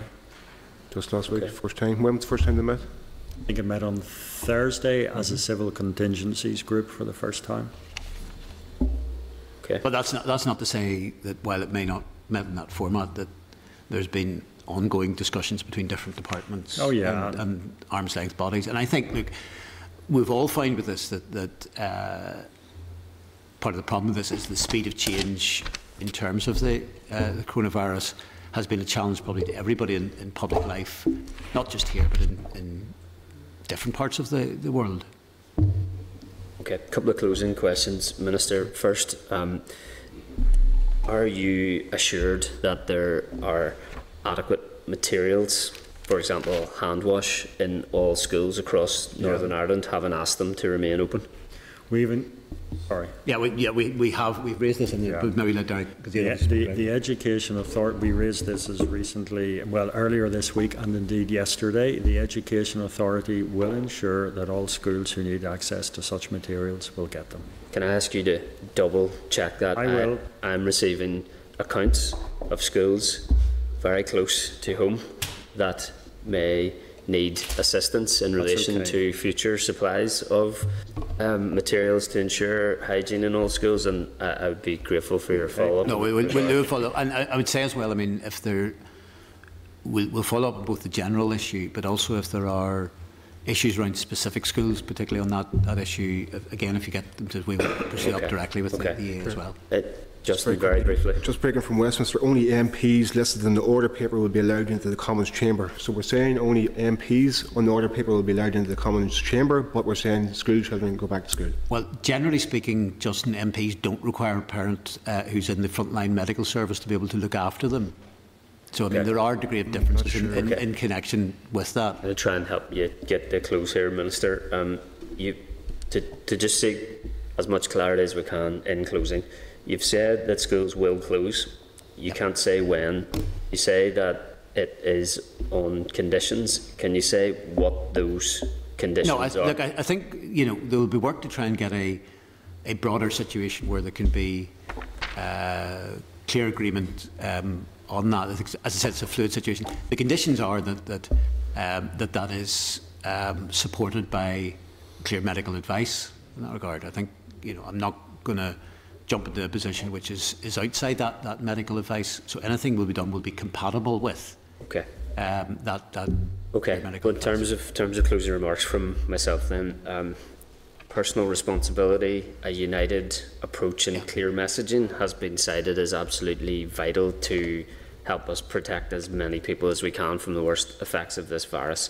Um, it, it's irrefutable that there are hundreds of schools across Northern Ireland today unable to or decided not to accept your messaging on this matter. That, that's just observable fact. I, I don't doubt your sincerity and integrity or commitment to protect staff and pupils, but as of today, you're asking school leaders and parents to respond to an increasingly unacceptable and untenable situation in our schools. There is significant confusion and concern, and I do think you need to establish urgently a date for school closure and to set out a much clearer plan for the wide range of contingency provision that is going to be necessary. Chair, look, I, I entirely take on board what, what you've said. As I said, um, actions will, that will be compatible with um, the broader uh, medical advice that is, that is there will be followed. I think, as with all these things, any of any actions that any of us take will be in their nature imperfect on that basis. But if, if any of us, in whatever shape or form, can make our contribution to trying to reduce the impact of this, uh, you know, even you know, even if it means like in, in any case that, that any action any of us take that helps save a single life, I think is something that will be worthwhile. So, Okay. you know, from that point of view, uh, I can only go on the best advice that, that I can get in relation to it. I think it's important that as we chart a way ahead, I completely agree that as we chart a way ahead, the more certainty that's there and the more that we can actually phase timing in relation to this to um, indicate, as I said, uh, where there can be then dates for the, the closures. It'll be on the, the basis of uh, a point at which schools will not be um, taking in pupils and then uh, a period where there can be some additional level of preparation for, for staff in that regard. Okay. And as I said, with, I think as part of any picture will have to be also the impact that we have on the frontline medical staff, and there will be a bit of work done to try to ensure uh, that, um, I should say, frontline emergency staff. Uh, there will be work done to ensure that there's provisions, along with all the other issues that have been raised, are, are done as best they possibly can. Mention was made earlier to uh, a COVID 19 emergency bill. if you need this uh, committee to reconvene at urgent notice, we give you our full commitment to reconvene and as, I, as quickly appreciate as that. I mean, I think can. the, the issue will just be in terms of enactment, um, and obviously there'll be discussions between the executive and the, the assembly. You know, whether that's by way of some form of uh, legislative consent motion, you know, because I think the issue is, I think the, the bill itself covers, while obviously our focus is on the education side of it, it covers actually things which will involve each of the departments, and some will be quite departmental specific, and some will be more generic in their in their nature. So I, I suspect it's probably more likely to be taken, and I very much appreciate the offer. Um, that if there's anything needed and if there's any additional briefing that we need to give on that, I'm sure we can officials can do that. Conscious we've rescheduled the response to the systemic failure in EA with regards to special educational needs provision. We'll return to that as soon as, Okay. as possible. And I, I would ask you as Minister to give particular consideration to the additionally high concern and confusion that is apparent within special schools at this moment. No, I, look, I'm, I'm acutely aware of that and been working with PHA directly on that. I think if there's if there's something to be announced in a wider context, that's the preferable route. If that's not able to be possible, then something very specific I think would be uh, announced in relation to um, vulnerable children. Okay. Minister, Permanent Secretary, thank you very much. Thank you.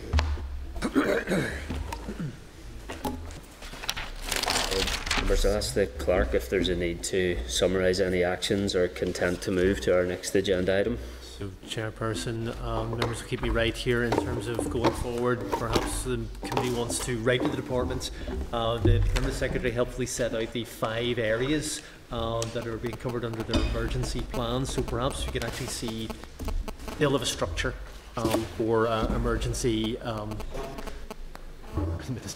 they will have a structure, so perhaps we could actually see that, and uh, they may also have what's called a SITREP, a situation report, which may be produced daily or weekly. So perhaps the committee could actually ask to see the weekly SITREP, um, so you can keep up to speed with all the things that are happening in those five areas. Additionally, then, um, um, is the committee also um, wanting to, um, when the department knows, uh, ask it to provide a breakdown of the additional funding, um, where that's going to go, and uh, perhaps to follow up in writing just on the question of the supply of cleaning materials um, to schools, as, as was mentioned uh, by the chairperson. And perhaps also then, if I've understood correctly, the committee is uh, inviting SIA and the Education Authority to come up and brief on their contingency plans. Great. Anything else? Clerk, can we perhaps follow up the, the question with regards to an assessment of up-to-date detail of, as insofar as is known, of how many schools are closed and how many schools are open? Those schools which are having training days. Yeah. Mm. Could, can I Yep, add, Deputy Chair. Um, uh, that what advice should be given to schools if they have a confirmed or suspected case? And um, what advice, what directive has been given to staff who fall under those categories that have already been told to socially isolate? And what advice has been given to parents who have vulnerable children Yeah. or vulnerable people in the home? Okay. Okay. Thank you. And how, how staff pay is affected um, for schools that are closed now and that took the decision themselves. By So staff. For how teachers pay, um, sub-teachers and temporary staff, how their, their, does their pay continue even though they have taken the decision themselves to close the school? And in the member also means classroom assistants. Yeah, yeah, All staff. all staff. As we, To be fair, the, the, the Department Secretary did cover that, but it would be good to get it in writing just Yeah. for the confirmation. I think we've potentially facilitated an impromptu engagement here, so I'll um, progress accordingly, uh, Clerk. Another issue that had been raised with me was some reassurance for parental right to withdraw pupils on the grounds of authorised absence. If we could check with the department that that right to withdraw on the grounds of authorised absence, if it is in line with UK government advice regards social isolation, that it, it won't count against attendance records. Believe it or not, the, the dedication of some parents to their children's education is, a, is expressing concern that what they feel is no choice but to withdraw pupils from school could affect their attendance records. If we could seek clarity on that as well. I think it might be worth seeking a, a written response guaranteeing adequate materials are available in all schools in Northern Ireland to maintain required levels of hygiene to necessary to combat coronavirus. Justin, yep. Just, just given what the um, five education boards have done, um, or sorry, the five teaching unions have done, can we write as a committee to the Minister imploring him to close schools to school children now? I don't think you're going to have a majority position on that or united position on that potentially. I think that I think people's views were articulately made to him on that matter today. The minister's been here for one hour forty-five minutes Yep. answering questions. Yep. I think he made it explicitly clear on a number of occasions that it's not if they're going to close it, it's when they're going to close. But he's going to act on advice from the from the chief medical officer. So we could be in a situation, perhaps in the next day or so, that that advice comes from the chief medical officer. It's a very fluid situation, um, and I think at, the end of the day, any decision that he takes, and I think he, he, he made this point very clearly, the minister is in a very particular personal circumstance. You heard him saying he's a carer for his very elderly mother around these things. The minister isn't going to take any decisions going to willfully harm people's lives, and I don't think anybody would, would, would suggest that he is. But at the same time, um, people have a different emphasis on this stuff. And I have nephews and nieces out of school as well. I don't want them any more exposed than any other child. But, but I wouldn't be comfortable with a letter imploring him to close schools when, he, when he's already sat here for an hour and 45 minutes and said he's taking advice from professionals. Yeah, I'm gonna I'm gonna move us on here. I, I think we we gave a thorough um, expose of our positions and our concerns in relation to this, and we're about to hear um, from the Northern Ireland Teaching Council as well on this matter. So I, I would ask that we hold on that. Indeed, just, just indeed. to make a point, I, I don't Yeah. believe the minister should. It should be an executive-led approach because there's so many other that come in behind it. Um, our position is clear from last Friday. Schools should close, but it shouldn't be on the education department on their own. Yeah. Could I, Clerk, is- would it be appropriate to propose a very short comfort break while we await our, our next evidence session? Absolutely, Chair. Yeah, is Members that okay? content. Members content? I'll, I'll Yeah, need to go go. because I was No at problem. 12. anyway. Okay. let's Members go. content? Take a short break, yep. Mr. O'Neill. Programme signed. This is the Northern Ireland Assembly Senate Chamber. Programme signed.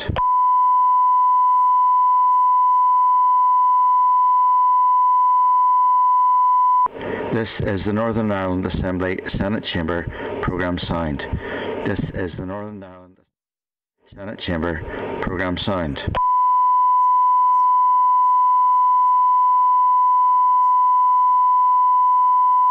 This is the Northern Ireland Assembly Senate Chamber.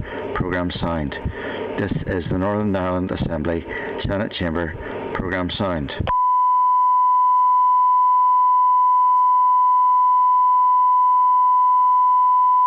This is the Northern Ireland Assembly Senate Chamber. Programme signed. This is the Northern Ireland Assembly Senate Chamber. Programme signed.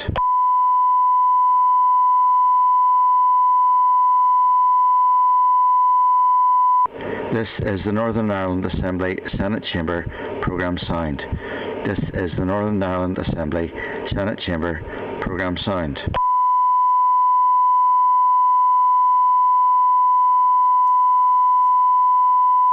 This is the Northern Ireland Assembly Senate Chamber. Programme signed. This is the Northern Ireland Assembly Senate Chamber. Programme signed.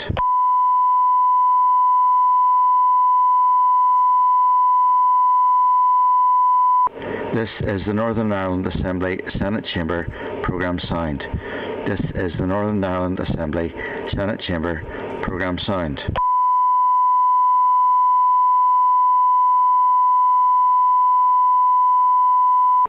This is the Northern Ireland Assembly Senate Chamber.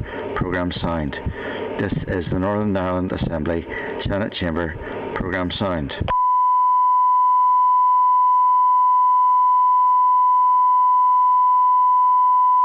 This is the Northern Ireland Assembly Senate Chamber. Programme signed. This is the Northern Ireland Assembly Senate Chamber. Programme signed.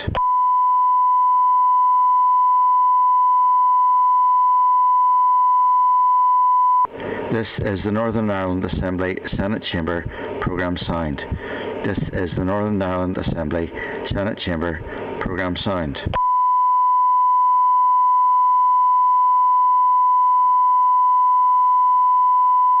This is the Northern Ireland Assembly Senate Chamber. Programme signed. This is the Northern Ireland Assembly Senate Chamber. Programme signed.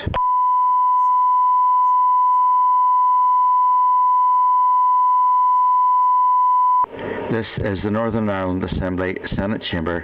Programme signed. This is the Northern Ireland Assembly Senate Chamber. Programme signed.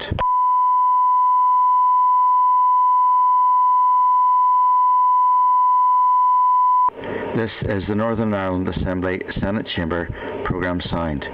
This is the Northern Ireland Assembly Senate Chamber. Programme signed.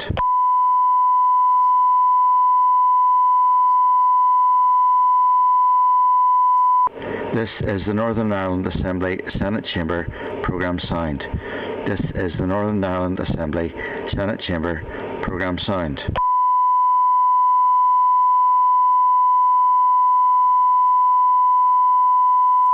This is the Northern Ireland Assembly Senate Chamber Programme Sound. This is the Northern Ireland Assembly Senate Chamber Programme Sound.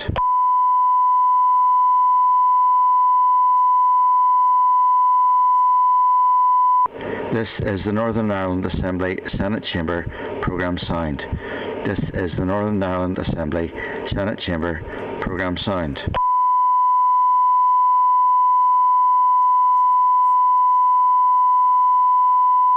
This is the Northern Ireland Assembly Senate Chamber programme sound.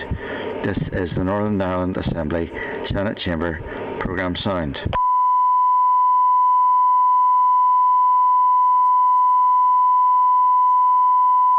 This is the Northern Ireland Assembly Senate Chamber programme sound. This is the Northern Ireland Assembly Senate Chamber programme sound.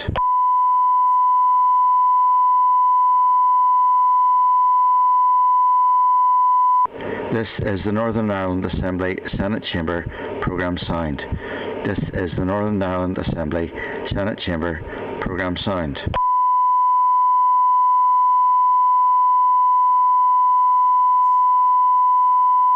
This is the Northern Ireland Assembly Senate Chamber programme sound.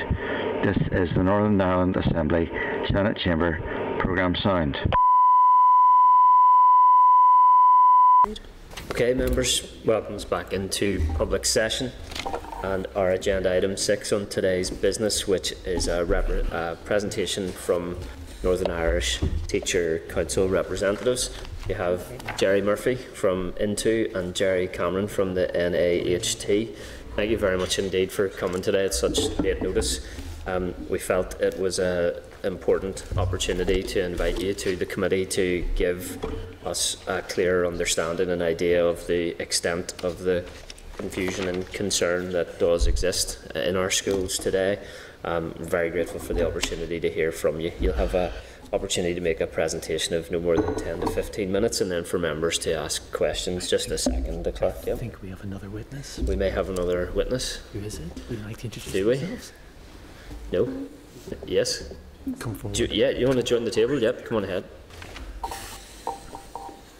Okay, so I- I'll give our I'll give our witnesses an opportunity to introduce themselves, make a short presentation, and then we'll take questions. Okay? Okay. Thanks very much. Gerry Murphy, Chair of the NITC and Northern Secretary of the Irish National Teachers Organisation. Harry Greer, NAHT. I'm Geri Cameron. I'm the president of the NAHT. I'm also school principal in Belfast. Okay, you're very welcome. Okay, uh, thank you very much, Mr Chairman, and thank you for your kind invitation to appear here this morning. Um, and indeed, uh, can I take this opportunity to thank the committee for their starting work over recent weeks. Um, it's much appreciated uh, in the education community as a whole. Um, so, in respect to the issue in front of us, the coronavirus, COVID-19, um, our concerns are firstly for the health and well-being of the children and young people in our care. But we are we do rep- represent trade unions, and our concerns go beyond the children and young people, of course, to our members and their health and well-being, and of course, broader society. Um, it would be fair to say, and the chair alluded to it, as have a number of members of the committee over the course of the previous uh, interaction, um, that there is a huge degree of unease, concern, and uh, and upset um, across the educational community as a whole. Um, 18,000 teachers, you know, 340,000 children and young people in our schools. The parents uh, of those children, the carers of those children, this entire section of our society uh, is, you know, confused, angry, uh, angry maybe too, well, angry, no, people are angry, uh, but what is lacking here is is clarity, clarity around a number of things. The minister's continually referring to the chief medical officer and to the science, but I have to say that there is no clarity around the science out there. I think it would be uh, helpful if the minister would would uh, if he would share the modelling um, associated with that science, if you would share the modelling around the spread of the virus and the impact of the virus, he made some reference to it earlier. I think that would be helpful uh, for everyone concerned to get a better appreciation and understanding of what he what he is actually relying upon. The second thing, the second major concern is around the fact that the schools remain open at all. Uh, the the community, the educational community, is voting with its feet, mm-hmm. as one of your numbers already said, on which several of you have alluded to. Um, there are, as the chair said, hundreds of schools closed today. There are 1,130, uh, uh, roughly 1,130 schools in total. Um, so, you know, we're looking at possibly as many as 40% of those schools being closed now. I don't have the numbers any more than the permanent secretary has the numbers, but I can tell you that the Northern Ireland Teachers Council is today seeking to survey those 1,130 schools to ascertain what uh, what attendances are like, because anecdotally we're hearing those are way down attendances in terms of children and in attendances in terms of staff. Uh, so we're attempting to survey as we speak uh, those, those schools uh, to see if we can put some numbers on that because I think that would be helpful for everybody. Um, and I can't stress enough that we're approaching this from the from a place where we wish to be helpful. We wish to make a contribution, a further contribution, I should say, rather. Um, we wish to assist the minister and the department, and we will continue as we have been doing, and as our members have been doing, to assist in their schools and the communities that they work with. Um, the as I said, teachers are playing their part, and, and Mr. Humphreys is gone, but he made a very telling point around consistency of message. That you know there is a complete inconsistency here. You know, effectively there are three pieces of advice out there, or three sources of advice out there. It's a sort of a smorgasbord of, uh, you know, scientific and you know uh, procedural advice available to you. You have what happened, the advice coming from the Republic of Ireland. You have the advice coming from our own uh, Chief Medical Officer and the PHA, which the Department and the Minister are relying upon. Then you have Boris Johnson issuing advice and direction on Friday, all of which, you know, our members are being expected to interpret and apply. Um, I, I think it's grossly unfair, you know, that in addition to everything else that has been foisted upon them. They've been called upon to do that. The, the permanent secretary did a very good job in the earlier in his earlier contribution in outlining the extent and the difficulty of the problem. But um, as Miss Mullan pointed out, or you know, attempted to clarify with the minister, there is a there, there's an increasing feeling amongst certainly my members that you know they've been looked at here you know, that this thing has been approached as a workforce problem and not the health problem, the health pandemic, global pandemic that it is. Um, and, and, really, you know, I think the minister needs and the department needs to sit down, and we would be hopeful that they will sit down with us, and you know, let's talk that piece through and see what it is, because my members and our members wouldn't be averse, I don't believe, to contributing to society, further contributing to uh, measures to, to protect and enhance the well-being of society and the children and young people and themselves. One other point, and then I'm going to hand over to my colleagues here. What needs to be remembered by all of the decision makers in this uh, unfolding crisis is that teachers are citizens. They are parents. They have responsibilities of a caring nature of their own. And while we are happy to engage and talk about distant learning and providing that learning and everything that goes with that, um, we would ask that everyone keep sight of the fact, as I said, that they are citizens, parents, and carers in their own right, and that they will have responsibilities which will have to be met as well. Okay, thanks, Jerry. Can I extend my thanks to Chris and the committee for inviting us here today at such short notice? I know that it, it is unusual, but I guess we're in unusual territory. Um, I would echo um, what Jerry has said about um, clarity and consistency of message is really desirable at the moment, but unfortunately, and this is a really key point, that's no longer possible due to the wide range of variable scenarios that are emerging in schools.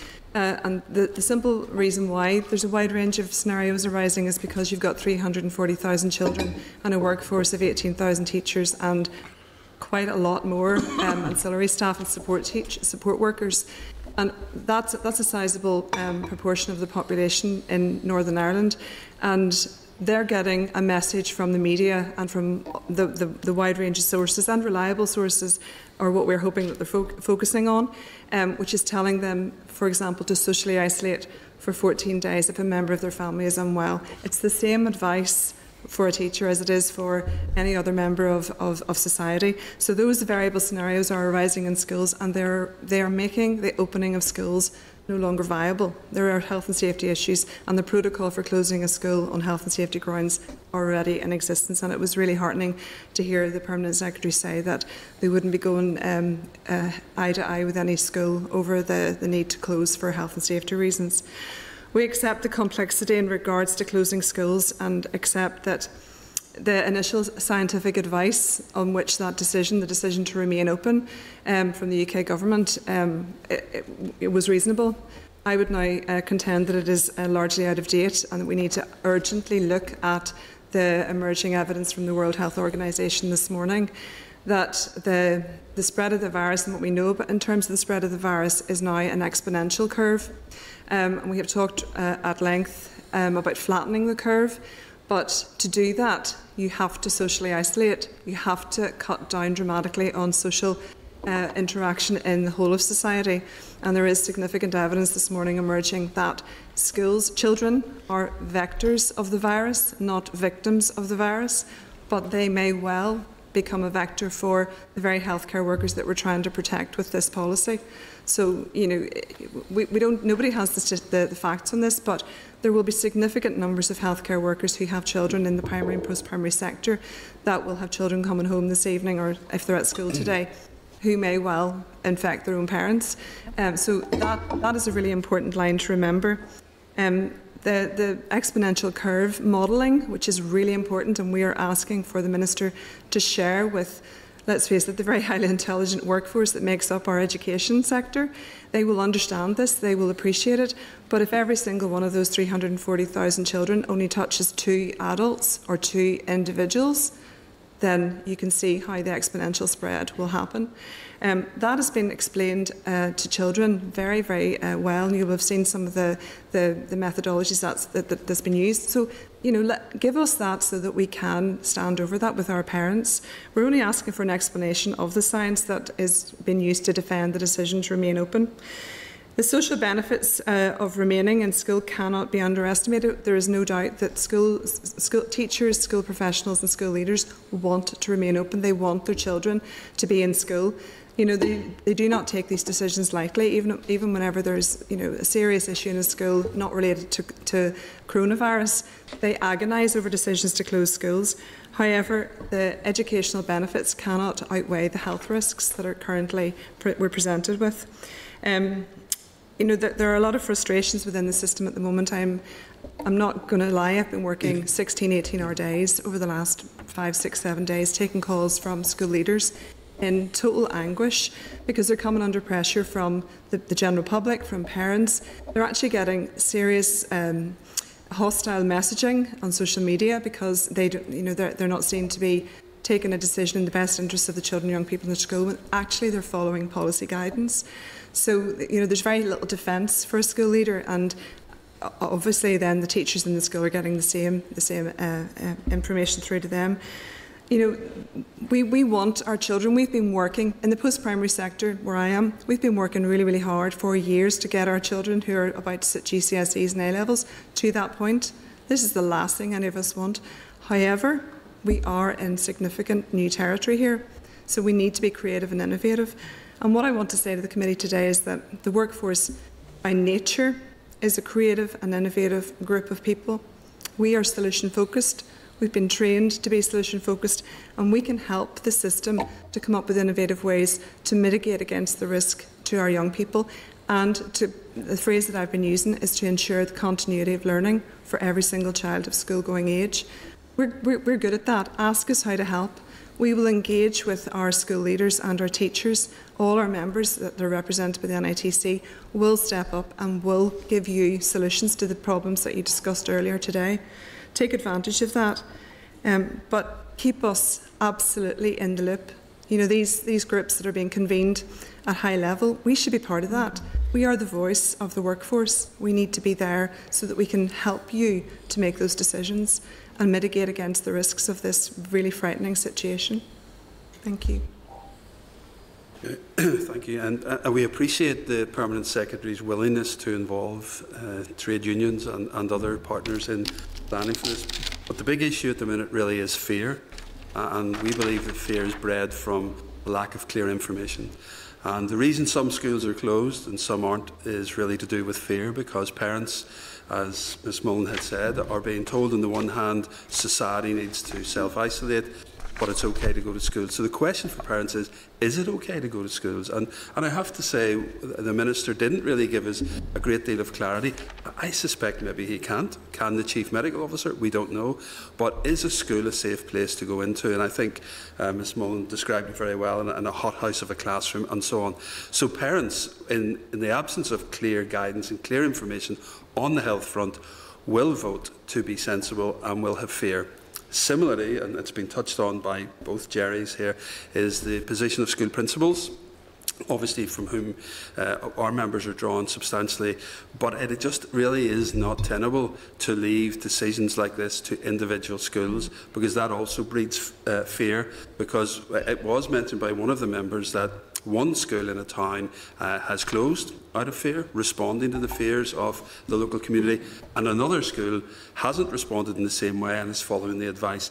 Uh, and then the difference comes in between the two schools. Why is one school principal more caring than the other? And they're both caring people, they're all caring people, but we just need clarity of decision and we need the department to say, are they content that it is safe for children and workers to go into schools at the minute? That, that's the big question because without answering that, without certainty on that, you cannot blame parents for voting with their feet, as, it's, as has been described here.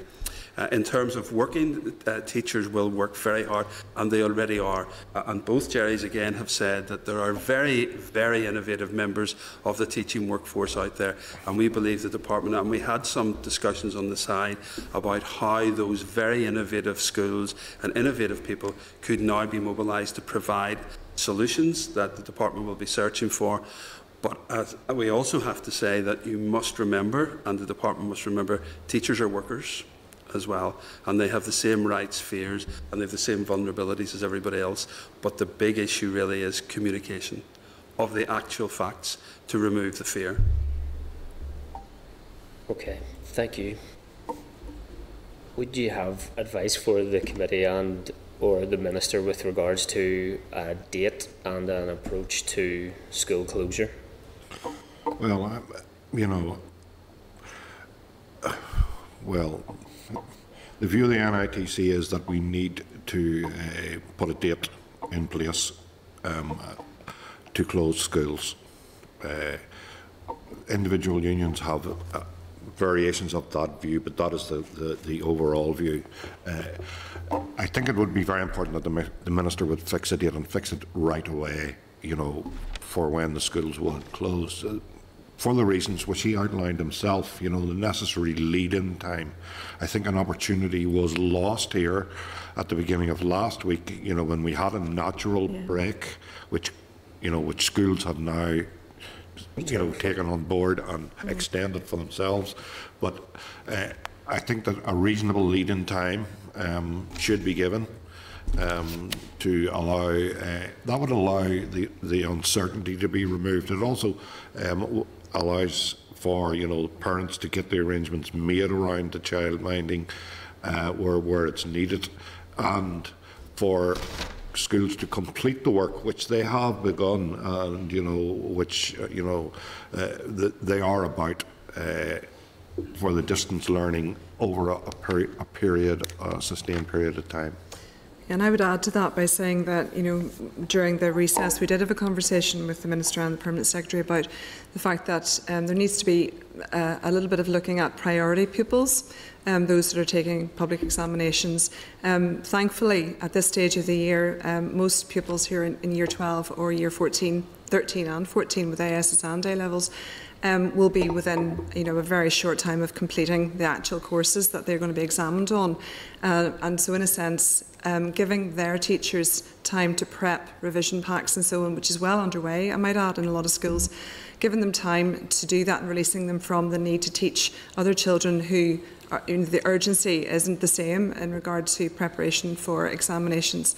So that would be very useful. So uh, setting a date and giving a lead-in time um, as well as giving parents time to prep, but also focusing on priority groups. Um, and so we had mentioned to, um, to the Permanent Secretary about a framework of provision um, for the next few days, um, for the remainder of this week and, and the start of next week, so that schools had a clear view of what their priorities could be in terms of maybe providing hard copy packs of work for younger children and how they, those could be distributed, um, prepared and distributed on an ongoing basis, um, or to address some of the digital inequalities that exist across Northern Ireland in regards to provision of um, connectivity, for example, or access to technology or devices to access technology. So it's imperative that we cannot continue like this. I mean, unfortunately, we're in a situation where we're having a trickle of, of schools that's turning into a torrent of schools that are making decisions to close that are not they're seen as, as uh, random and ad hoc and that's not good for the system. You know it should be it should be evidence that there is a control and that there is a, a cogent reason for the decision to close all schools. Um, so that's really important today. Yeah.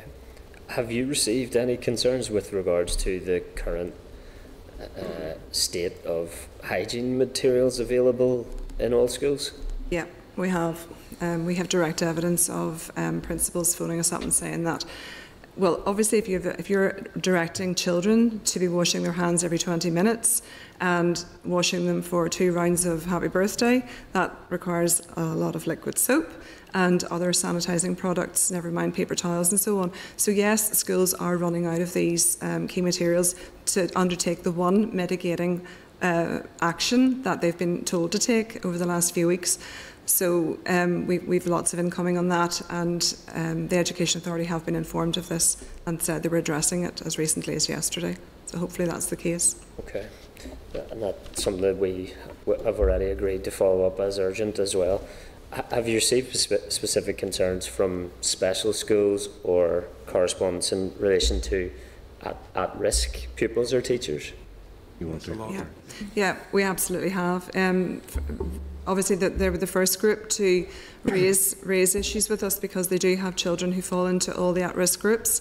Um, they also have children who, who have parents who are, you know, are very concerned and are much likely, much more likely to contact the school as a, an immediate response about their child's welfare. And that's why you would have seen the 10 Belfast special schools getting together and making a decision to close. Um, I can tell you that today, all the special school principals, even of those schools that are closed, are meeting to, uh, as a uh, an urgent meeting today. It's actually just started to dis discuss a way forward in the absence of any decision emanating from um, government today. They will be making a decision because there is now an inequality. You know, there are children in special schools in some parts of Northern Ireland looking at their parents are saying, well, is my child less important, and so on. You know, that cannot be allowed to continue, so they will come up with a decision today about the, a more global uh, policy on what's happening with, with children with special needs. But you know, on a positive note, can I tell you that the work being undertaken by special schools, um, by the staff in special schools, has been inspirational.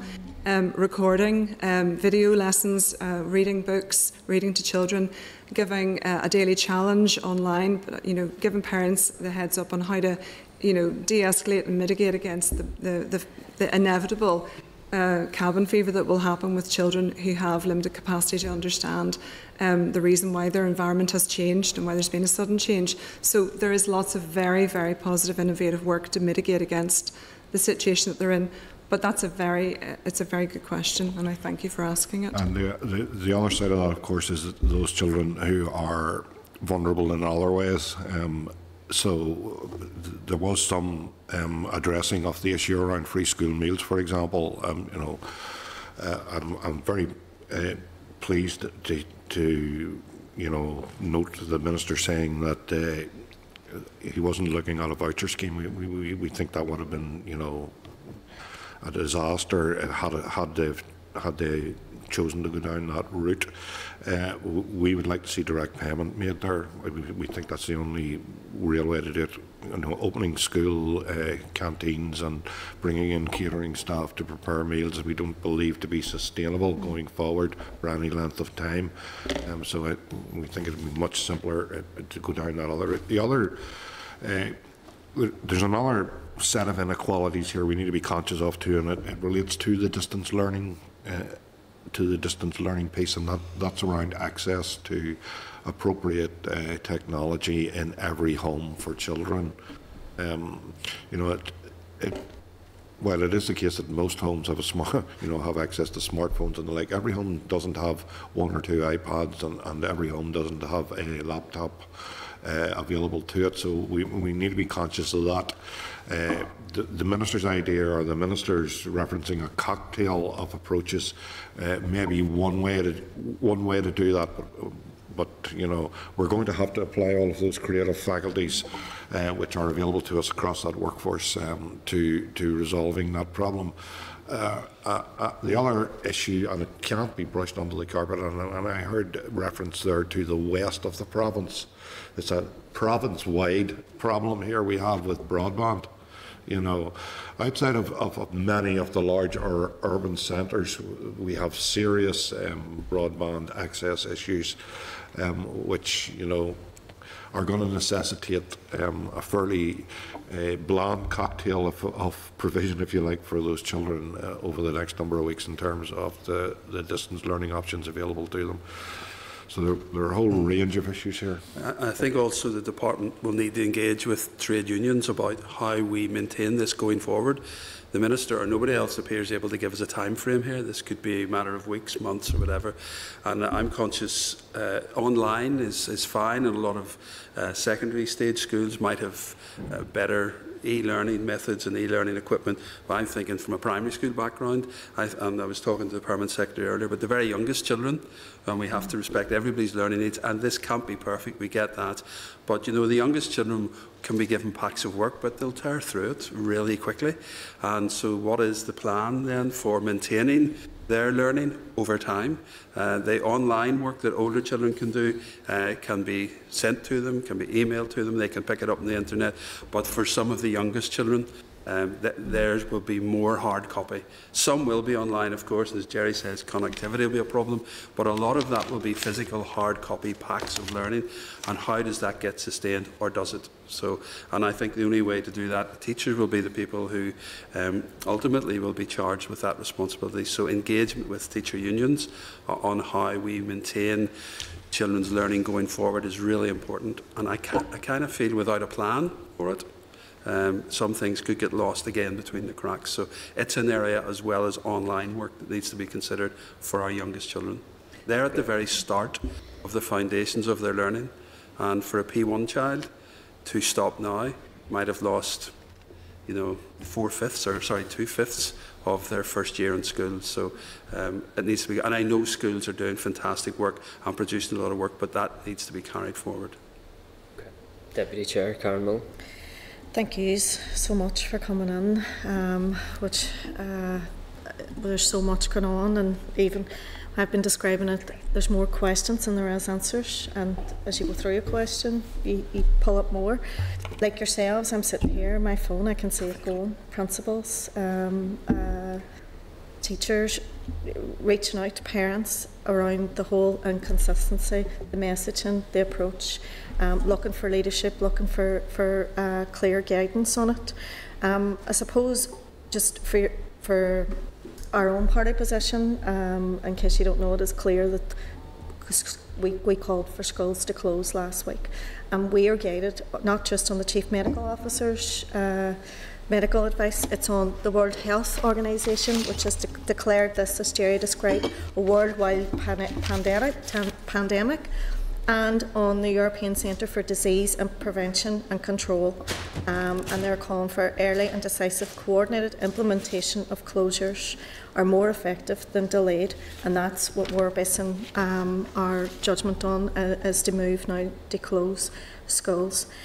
I want to apologise again to yourselves, your members, and the parents because I don't believe we got the answers in the previous session. I, I'm aware that this is an evolving situation and we may not have them all, but particularly around the advice that we're given in terms of the PHA.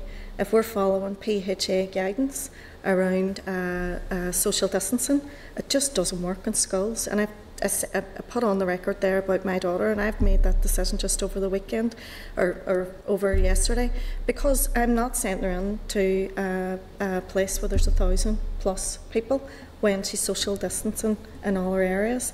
Um, you mentioned the special schools. We, we had a session last week with special schools principals where they reached out and asked for help, support, and guidance and they were for, they were left to make that decision in Belfast uh, last Friday, uh, which was totally unacceptable. You know, we are, that's children who are coming with many, many underlying uh, health conditions. Parents frantically looking looking to the principal of that school for help and support because it's not common elsewhere. So it's good to hear that as a collective they're meeting today. Um, they're a very powerful group. They have uh, many, many you know, they know they know best, and we had asked last week that that be listened to, and unfortunately, it hasn't happened. Um, in terms of the other stuff that that you had described, free school meals, and we do have to hear from yourselves. Um, it's good to hear that now that you will be part of the group but the many different sectors out there. I'm lucky enough to come from a city that has a very strong community and voluntary sector, and last week they had already kicked in action plans, meeting every day over the weekend, looking at um, how we can, um, you know, free school meals. There's many options. We need to uh, go down. I agree with Gerry's proposal. We need to look at homes that don't have the technology. We need to look at homes who can't afford broadband and those homes then who don't have broadband because of uh, uh, they're not uh, connectivity. Um, and we all have, you know, we all have a part to play in that. We need to be part of it and moving forward. Um, I suppose the, the main thing that's coming out, and just from from the contact that I'm getting in the questions, because we tried to put some of them this morning. There's too many, as I say, we put forward, but there seems to be the communication is not it's either not coming out quick enough and it's not clear enough to principals that they they feel they have to come to politicians saying they ask the questions they ask the minister. Well, I just wanted to ask you: Are you finding the same from school leaders and board of governors around, you know, everything? Well, communication. The first major communication from the department and from EA only arrived, you know, uh, the EA came very late on Friday evening. Yeah. Um, when, actually when the schools were closed on a bank holiday weekend, um, the, the ministerial, uh, the depart departmental, sorry, uh, advices were issued on Monday morning. Uh, both of the, well, the EA's advice has been superseded in many respects by events since. For example, the EA advice makes reference to uh, pregnant teachers um, which has completely been superseded by Boris. Boris's press conference on the Prime Minister's press conference on on Friday. Uh, the ministerial and departmental advice which came on Monday, um, we have serious concerns about the nature of that advice. We indeed offered the department um, a whole raft of rewording changes, additions to their advice. Now, in fairness to them, um, they've taken all of those away, and we will be meeting with them again tomorrow, and we're hoping to see some serious revision to the advice which was issued. Uh, but, you know, folks, this is a very small place. We all live in it. Um, we all know the pressure that built over last week, but yet it took four days in the case of EA and five, or seven in the weekend um, on the part of the department to issue any guidance of any sort um, apart from look at the PHA website. And if you look at the PHA website and you compare, for example, the PHA, the advice available on the PHA website with, for example, what's available on the HSE website in the Republic of Ireland, you know, the dates around when things have been updated and the scope of the information and the depth of the information available vary quite significantly. And, you know, referring people simply to the PHA website is not going to work no. here. No. Now, we do appreciate this is fast moving, difficult, and, you know, the bureaucracy isn't geared to move this quickly. But I think that that is going to have to change, and it's going to have to change very, very quickly uh, if we're going into a further prolonged period of engagement with this virus. Can I, can I just add that um, the policy um, in the UK at the minute is not to test. We're not testing. Yeah. We're using um, social distancing and self isolation as our main drivers for reducing the spread of the virus. However, if you're a school principal, um, as has happened this morning, two calls this morning, um, where you've got presumptive cases in your school, seven in one school, four in another school. And when you phone the 111 line and you're, you're, asked, you know, what are the symptoms, those symptoms can be of a common cold, and the, the advice is still to open your school. Now, the parent, I mean, school teachers are, school uh, head teachers and teachers are caught between a rock and a hard place here in terms of managing um, panic because if you're the parent of a child in the same class as one of those children, you will know about that child because that's the way the parents' um, WhatsApp groups and so on operate at the moment. Um, and you will not want your child to go to school, and yet the principal seems to be inactive and um, ignoring this by not closing the school. So, the, as I said at the start, clear, consistent uh, uh, guidance is, is, essential, but there needs to be an acknowledgement that on a daily basis scenarios will arise yeah. for head teachers that, that will not fit in with the guidance that Gerry has just talked about. Um, you cannot do scenario based um, ad advice and guidance for this type of situation, and you can't do FAQs for this type of situation because every single day there are new scenarios emerging. So you know, we, we, it, it all leads back to the point, the, the position that we are taking advice from a range of conflicting medical opinions, um, and you know, I, I would reiterate that children in Northern Ireland are no different to children in any other jurisdiction in Europe or beyond Europe. So why, why are our schools still open whenever in, in other jurisdictions the policy has been to close schools? Um, and there is strong evidence to say that that does flatten the curve. And also, children in Northern Ireland are no less able to cope with the rigours of being at home in a, in a, in a very unusual situation than children in France, Spain, Italy, or anywhere else you know, that there is a, a degree of having to manage. You know, we will mitigate and we will try to, you know, maintain continuity of learning, but we have to accept that there is a responsibility in every single person to manage this situation. Okay. Robbie, is that okay? Yeah. Robbie Butler. Um, thank you for your time. Um, thank you for your articulate presentation of of, uh, of the facts as, as you and, and the rest of us will see them. And I think it's um, and, and you, you, you all did allude to the fact that um, there's a lot of information out there, there's a lot of expert information, and, and, and how people are interpreting it can even be diff- different within the scientific medical circles.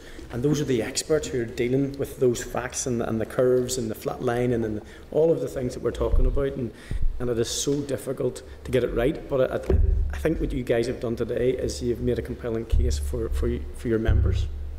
And it was nicely said out at the start, Jerry, in terms of your priorities, people safety and the health and the health and well-being of teachers, which are inextricably linked. The other thing that, uh, that I particularly liked was the, the, the willingness um, for your members then to be part of the uh, innovative approach to maintaining some level of, of educational provision um, wherever our kids are going to be.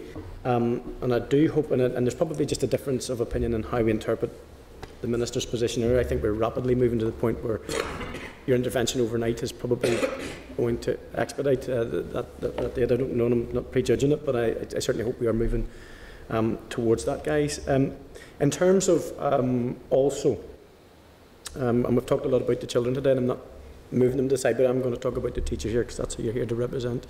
So the pressures that they have been under recently Um, what steps uh, should we be thinking about taking, or, or, or, as politicians, to support our teachers' mental health and well-being as well? Because they will have that.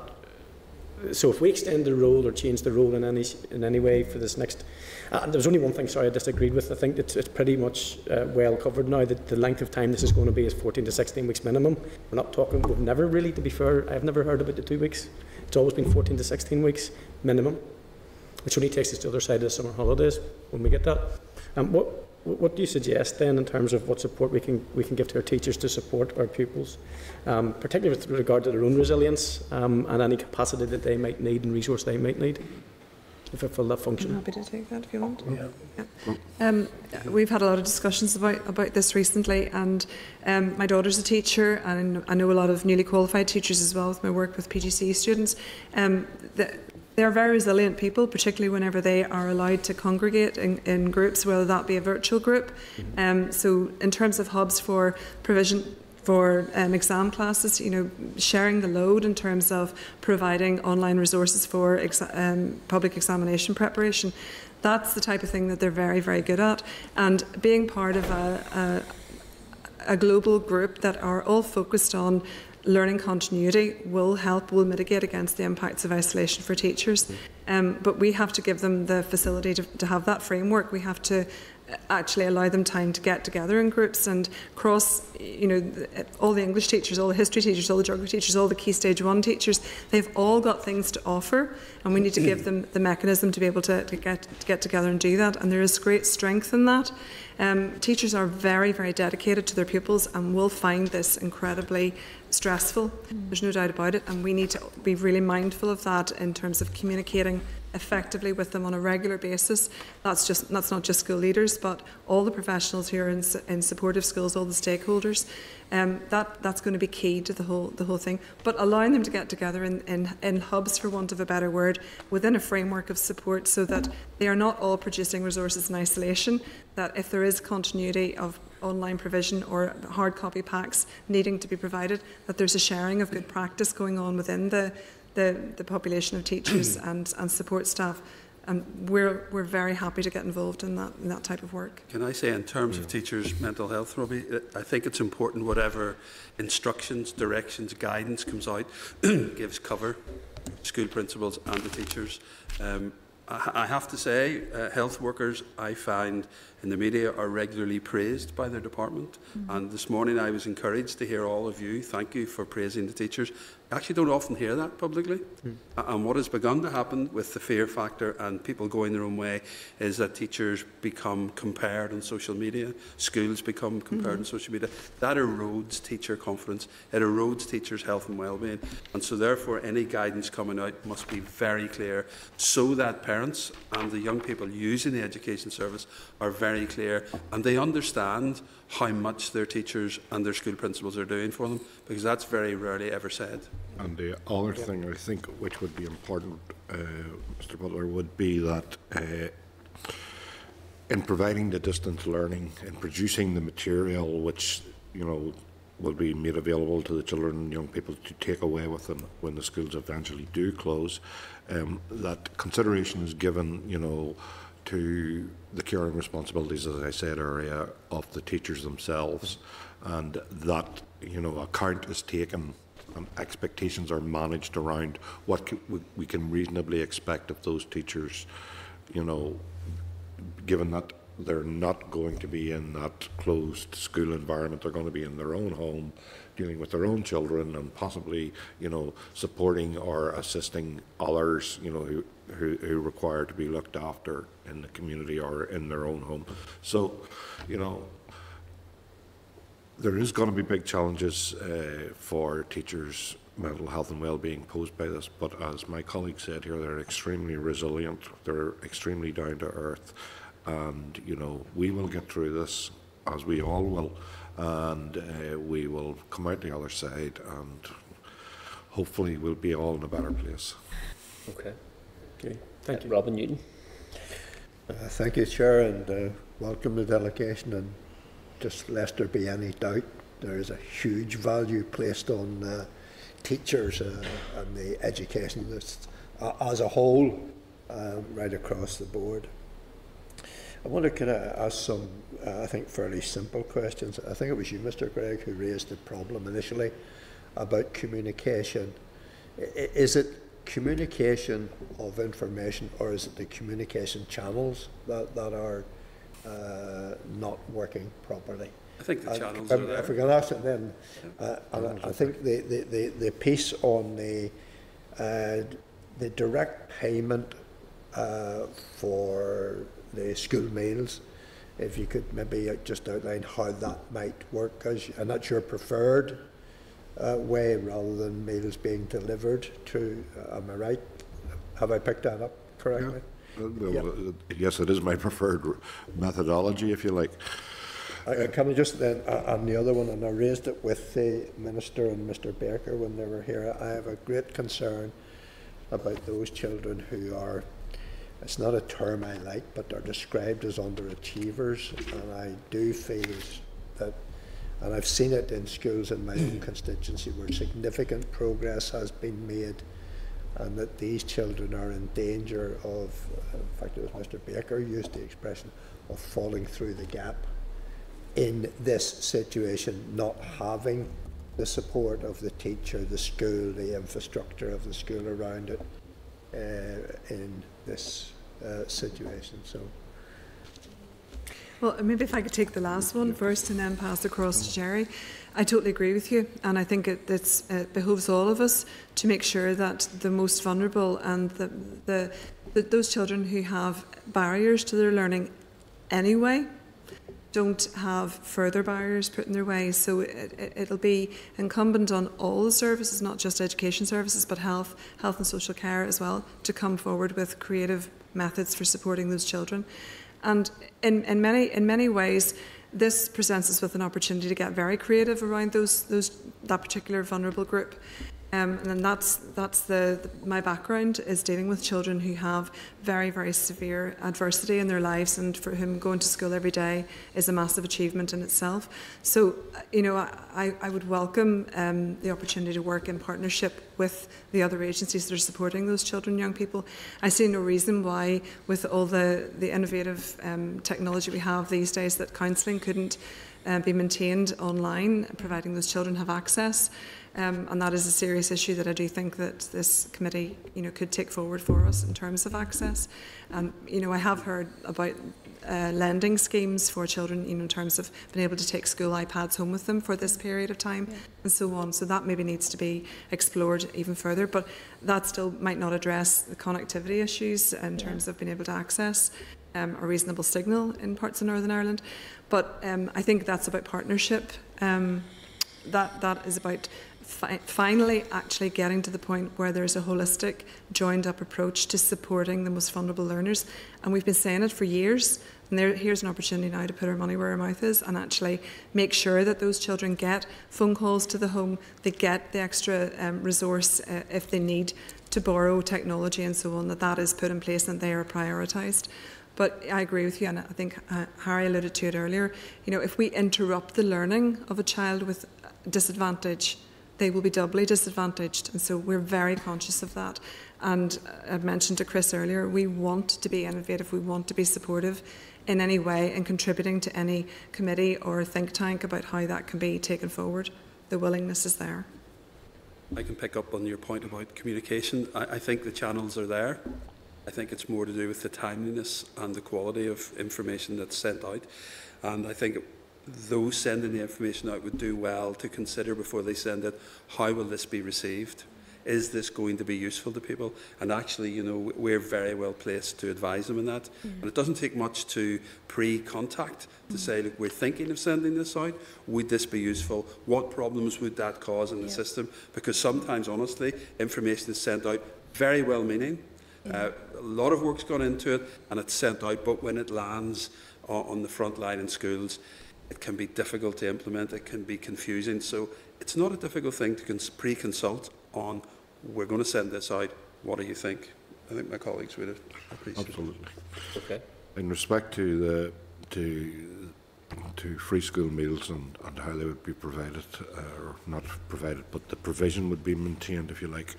Um, I would very strongly advocate that, that it's done by direct payment. And I think that, you know, the mechanism, the mechanism should be relatively straightforward. It can be either by direct payment to the household, probably managed through, I don't know, the Department of Communities possibly, uh, benefit system or whatever. Um, but these, uh, these children are already known, you know, and I think you'll find that these children are known to one or two departments. So, you know, we know where they are. It's a question of, of, of putting or getting the resource, the money in this case, to the, to their carers um, directly and as quickly as possible. Uh, uh, there might even there might even be a, a saving here to be had. You know, I know this is you know perhaps inappropriate to be talking about savings at this time, but there actually might be administrative saving here, and uh, this might be a more effective way to do it than we're currently doing it anyway. Okay. Thank you, Chair. Yep. Justin McNulty. Thank you, Chair, and thank you, Harry, uh, Jerry, and Jerry for coming before us today. I know you also are very busy and trying to manage this ever-changing situation. Um, I applaud your coolness and your calmness and your consistency of messaging, unified decision making. Um, in the circumstances, that's very important, and I think that's also reflected in the teaching body in terms of the principals, teachers, staff, who are pillars in our community and who I can't stress strongly enough how important it has been how they have remained calm, how they've made cool and calm decisions and been leaders in their communities, and that's massively important in this context. Um, from your perspective, if the Minister doesn't act now, the First Minister and the Deputy First Minister don't act now and give clear, unambiguous messaging around the schedule for closing schools, which has to happen from this point in terms of to pupils and in terms of provisions for uh, planning lesson plans and uh, bookwork for kids at home, offline and online, what will be the outcome of that? Well, I, I, I think the outcome is already manifesting itself, uh, Mr McNulty. Um, schools are closing. Principals on boards of governors are carrying out risk assess assessments and they are concluding that, you know, it's in the best interests of the children and young people and, and uh, those who work in the schools that they be closed. Um, so, you know, I, I think it, in the absence of any clarity moving forward, you're going to see more of that. Um, you know, it must be quite difficult sitting in the Department of Education looking at a system, where, in effect, which is increasingly out of your control. Um, you know, uh, so they will move forward. Uh, more schools will close, but teachers and principals and school leaders will continue to prepare and manufacture and upload all of those materials which will be used to support distance learning over a prolonged period, going you know over the 14 to 16 week period which has been talked about. Mm -hmm. Um, we have to remember that um, given the uh, medical advice um, and the new social distancing uh, advice in terms of, or self-isolation advice in terms of anybody in your home having a call for a temperature, that will impact on the workforce in schools. And I alluded to earlier the protocol for assessing the viability of remaining open in terms of being safe. We had schools yesterday where there were 20 plus staff off ill genu in genuine uh, situations. Um, so that's not viable. That's not a situation where a school is, is safe to remain open. So the Permanent Secretary mentioned that there were a number of those applications going in from school principals and chairs of governors for legitimate closure on grounds of health and safety. So Mr McNulty, you'll see more of that. And it would be so much better if we could do this in a controlled way with a cogent argument as to why we're doing it. I think just in terms of advice we would give to our members, the scenario you paint there um, brings up the idea of a level of risk. Without guidance, without a decision, then each school principal, board of governors, each group of teachers is trying to manage a risk. What, what, what risk would be deemed appropriate? None. So in those circumstances where we were being asked for advice, we would have to advise our members, we'll make no bones about it, don't take any percent of risk. Yeah. That's exactly what we we're saying to people. Surely so. Yeah. Um, have you been consulted, consulted um, in terms of what the Minister mentioned in relation to childcare contingency planning?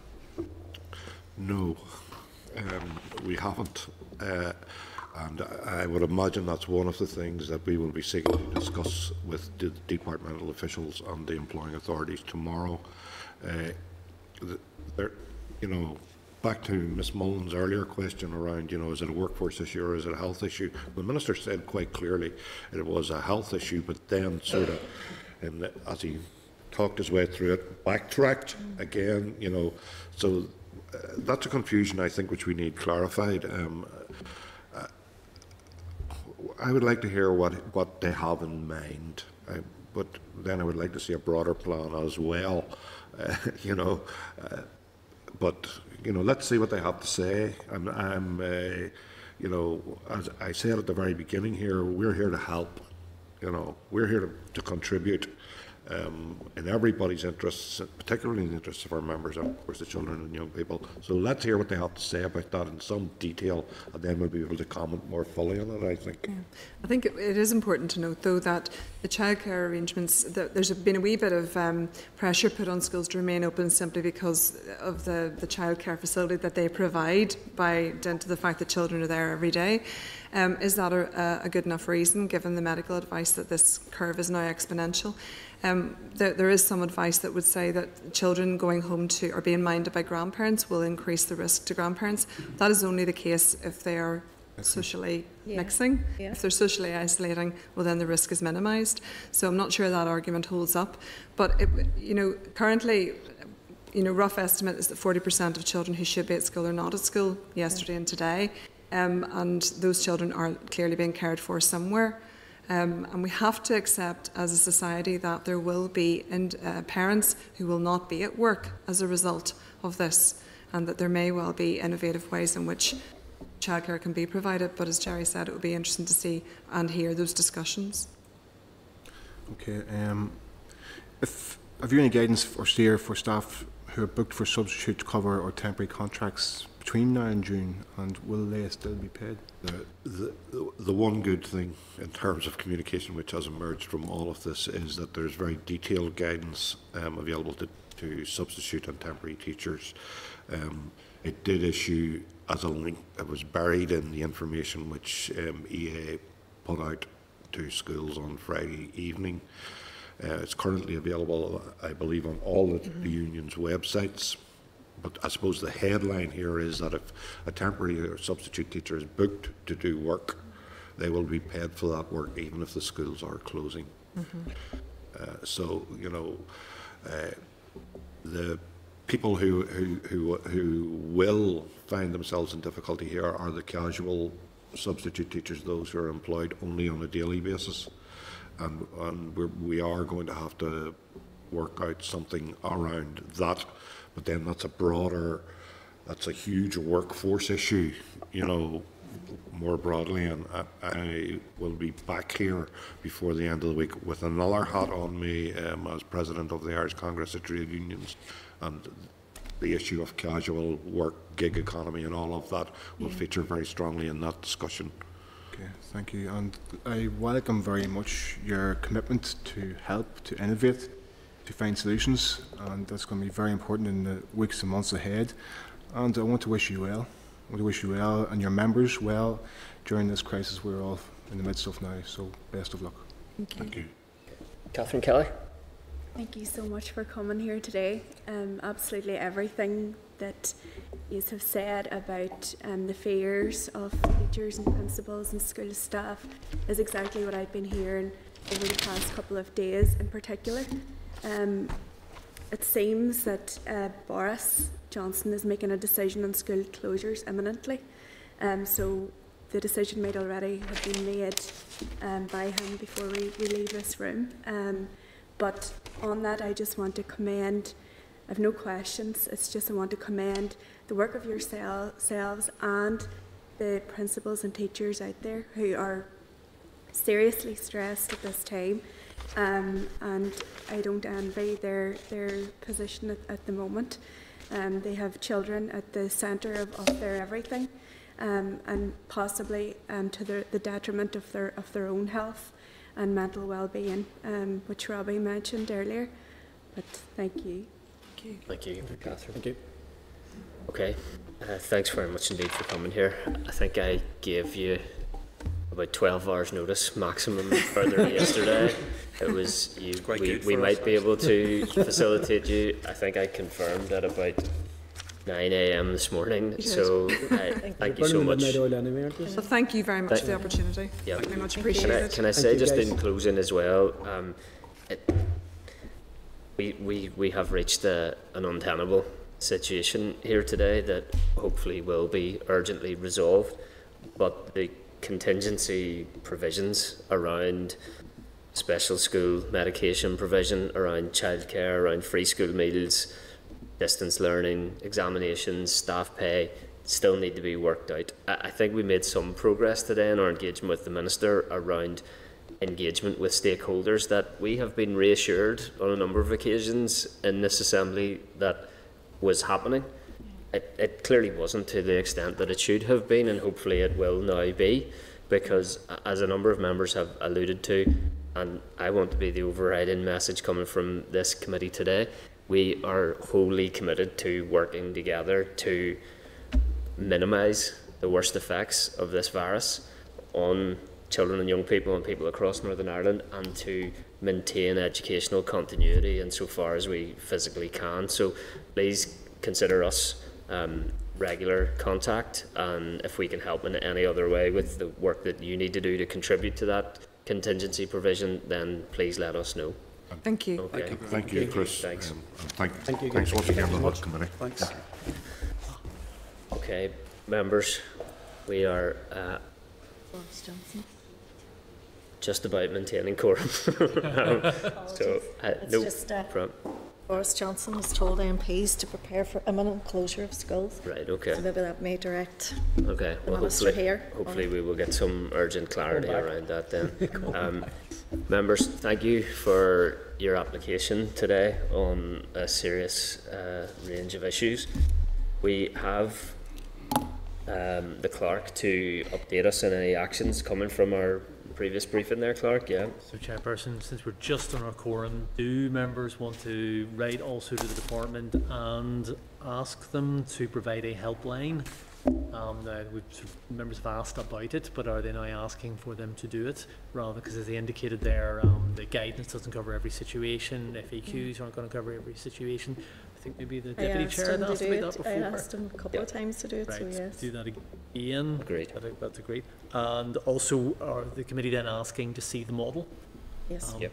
yeah, Yes, agreed. yeah. Agreed. And finally, are you asking about um, uh, the department to clarify around access and connectivity issues? So in our parts of Northern Ireland where they don't have uh, broadband, what will we do uh, for uh, children's ongoing education in the event of the closure of schools?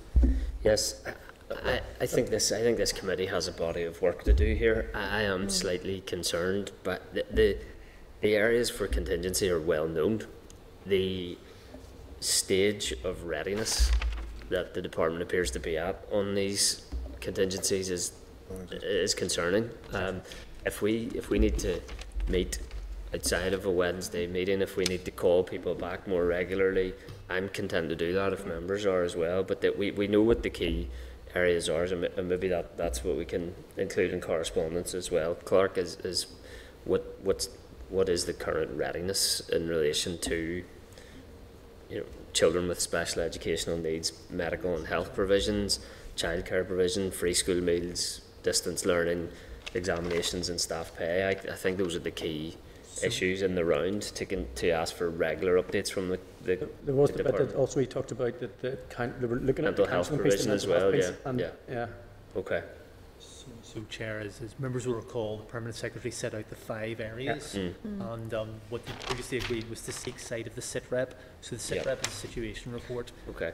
That won't be extra work for the department. They'll be doing that anyway. Yeah. Uh, it's something that will go right the way up to the Permanent Secretary and the Minister. And if they just would share it with the committee, that will answer, I would have thought, all of your questions. Yep. Yeah, Can I also, don't know if I'm in order here or not, Clerk, but I, I think we ought to urgently hear from the childcare sector in Northern Ireland. And I don't know what our schedule is for next Wednesday. Everything is contingent now, but if members are agreed, I think we should factor in a, an urgent briefing from the childcare sector. Employers for Childcare Early Years Uh, Organisation. yeah, I can add detail to that, but yeah, Okay, well, I suspect Wednesday, next Wednesday at the latest. Is if there a not body before. for the private?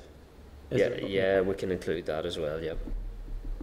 Yep, Can we maybe get an update from the youth services sector? Youth services. Yeah. Yeah.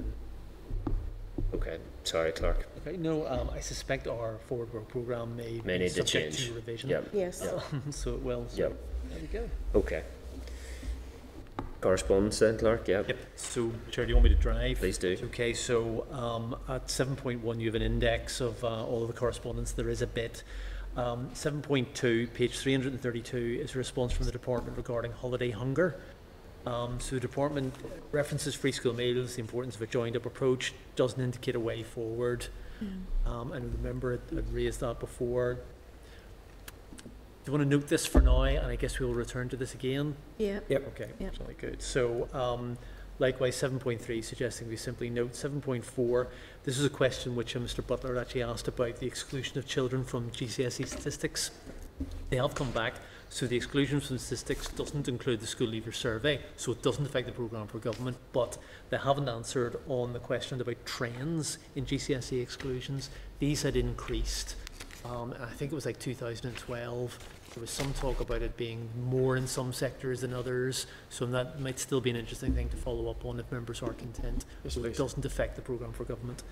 Um, then there's uh, Action for Children, seeking a meeting for the committee. I think the idea here is maybe we will invite them to the emotional health and well-being event, whenever that actually is. Okay. And now, Great. in tabled papers, this will be in your electronic pack because it's so huge. Um, the Education Authority came back about youth sector provision. Um, they provided us with about, I think it's 24 papers. I've read them. Um, I'd suggest, Chairperson, maybe the committee wants to write again to the Education Authority and actually require them to provide summarised answers, particularly on the particular question which members asked about uh, inclusion and fairness in respect of the new funding stream consultation. Because I don't know that that has particularly answered that. There are also things in here. I've been the clerk since 2012, and there are things I wasn't aware of. So there's stuff like START, I hadn't heard about. And I think an evaluation of that is there's an interim and there's a further one coming our way. There's also stuff around, um, well, the things related to that, which the committee has never dealt with. So um, I'm suggesting that uh, maybe we write to the Education Authority, seek sight of the START final evaluation, and then maybe um, add that to the forward work programme. Do members Okay. want to do that? Okay. Yep. I want to do that. Agreed. Yep. Agreed. Agreed. Okay, yes. Um, so then, also in tabled items, um, we would have dealt with this if we'd been talking about the special educational needs today. There's a response from um, the department just in terms of the Education Authority audit findings. So, look, I anticipate that we'll see the Education Authority, I hope, on the 1st of April, and uh, Chief Executive and maybe the chairperson of the uh, Education Authority Board to come back on all of this so we can pick that all up there. And it's like the Deputy Chair had indicated, there's a lot to talk about and not to just rush through. So we'll just note that for now if members are happy. Agreed. Agreed. Jolly good, jolly good. So um, then going all the way down, 7.8, it's a letter from Armagh, uh, this is page 373, Armagh Banbridge Craigavon Primary Principals Group. This is about the anti-bullying, uh, addressing bullying in schools act. Uh, this hasn't been commenced yet. Um, they've raised a few concerns. Suggest we just write to the department and seek a response on the issues raised. Um, and that's something again that will take a little bit more consideration, Chairperson. Agreed. If members agreed. Uh, Agreed. then at page 400, yeah, fresh start. Department has provided further information on the estimated timing and projected expenditure of the Fresh Start projects. So they provided information, I think, for 17, and if you add it all up, that comes to 295 million pounds. Um, but what's missing from that are well the balance. uh, So there's 470 to play with, about 170 million not there, and it's it's what the department explains that uh, the business cases for these uh, other projects are subject to review. These include Strule, um, but also integrated schools at Slemish, Parkhall, Dungannon, Drumragh, Hazelwood. Um, so again, I don't think there's a, a, particular action at this point. It's just for members to note that um, quite a lot of money to play with in terms of Fresh Start, 470 million. They've accounted for 300 million and what their plan is, and you can see how they're going to do that over a couple of years. But there's still a few things in the air, e.g. Strule, and I still don't know that we have confirmation from HM Treasury that they're going to allow the department to reprofile the underspends from the previous year. So that's a sort of holding response, Okay. um, just for members to note if they're content. Okay. And then, I sorry, need- sorry, I need a comfort break. No problem. I'm going to stop for a second then. Make Shall we hold there. just, No uh, problem, yep. we just uh, Programme signed. This is the Northern Ireland Assembly Senate Chamber. Programme signed.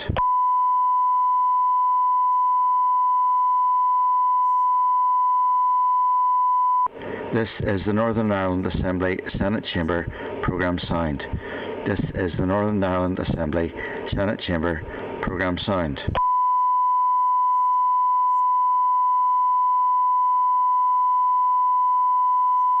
This is the Northern Ireland Assembly Senate Chamber Programme signed. This is the Northern Ireland Assembly Senate Chamber Programme signed.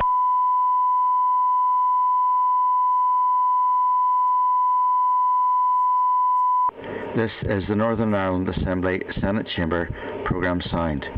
This is the Northern Ireland Assembly Senate Chamber Programme signed.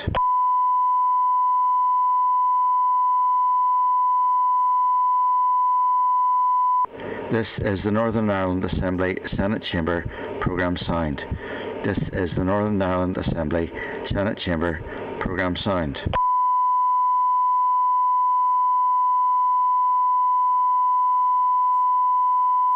This is the Northern Ireland Assembly Senate Chamber Programme signed. This is the Northern Ireland Assembly Senate Chamber Programme signed.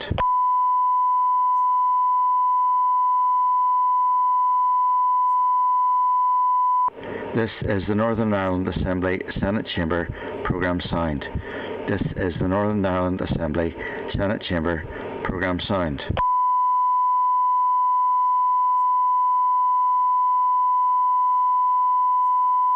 This is the Northern Ireland Assembly Senate Chamber Programme signed. This is the Northern Ireland Assembly Senate Chamber Programme signed.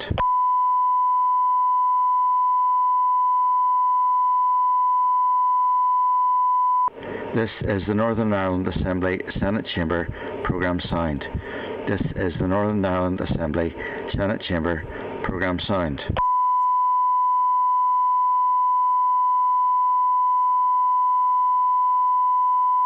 This is the Northern Ireland Assembly Senate Chamber Programme signed. This is the Northern Ireland Assembly Senate Chamber Programme signed.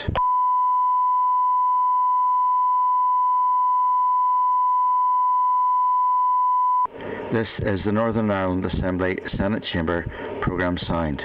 This is the thanks, Chairperson. Okay, members, we resume. Resuming then at page 403 is correspondence from the Department on menstrual well-being in schools. Um, Minister also received a copy of the initial correspondence. Uh, he's responded directly to the correspondent. Um, they've, they've indicated um, that CCEA have been engaged to, um, to, to look into the, the issues raised. But they've also said that uh, what I didn't know is in 2018, CCEA was commissioned to review relationship and sexuality education resources. Yeah. I hadn't noticed, so members content just to write to CCEA about that, and maybe we'll ask for a briefing Yeah. sometime Mm. um, on that. Yes. Agreed. Right. Right, okay, then at page 414, correspondence from um, Stranmillis Centre for Research in Educational Underachievement, asking to brief on its work on the DE cutting funding to SCOTENS, which is the cross-border standing conference on teacher education north and south. Content to take that. Content, agreed, yeah. Great, very good. Then at page 425, it's uh, an invitation from Access Employment Limited in Lauren to see the work of its transitions programme. So members content for us to schedule that. When Yep. appropriate, Some yep, point, agreed, yes. yep. Very good. And that, unless members have any other points um, or uh, the key correspondence, there is something about independent counselling services as well. They've come back with a, uh, an update on the um, waiting lists, uh, which members had asked. Okay, Maybe back on that. can review that, okay. Members have any further comments on correspondence or content to process it in that way, yep? Yep. Okay, members, agenda item eight is forward work programme, which is extremely fluid at this moment in time, open to adjustment. One key issue is the visits that were scheduled. Clerk, do you want to speak to that? So, Chairperson, perhaps um, might not be the best time to visit schools, particularly if they're well, if they may be closed, as the member had indicated. Um, so, what I'm suggesting then is that all of the visits, external events, and informal meetings, even bringing people into the building, that maybe we just um, suspend those for now and come back, come back at another time. If members are happy to do that. Yeah, I don't think Not we've any other to it, option. but- No, we've no other option other than to Yeah. advise, schedule school visits of likely suspension of those, um, and and to address our business to core business around the response to coronavirus and the contingency planning at this stage. Yeah. Maybe that, Chair. I think that the, the deputy deputy secretary, the um, permanent secretary, was hinting there that the department may struggle to answer our correspondence or come out and brief us on other matters. So Mm. um, I'll work with the DALO and uh, we'll rejig the uh, forward work programme. And as the chair has indicated, um, focus on the things that need to be focused on. I'll be led by members. I think that makes sense, yep. Yep. Okay. Okay, members, any other business? No? Okay, our next scheduled meeting is Wednesday, the twenty-fifth of March, nine forty-five AM in room thirty. Okay, and if, if there are ongoing or emerging issues that members feel that the committee should respond to, I think we will have to be agile and, and nimble to respond to some of those. Feel free to come through the clerk or myself on those matters. Okay, thank you. This is the Northern Ireland Assembly Senate Chamber Programme Sound. This is the Northern Ireland Assembly.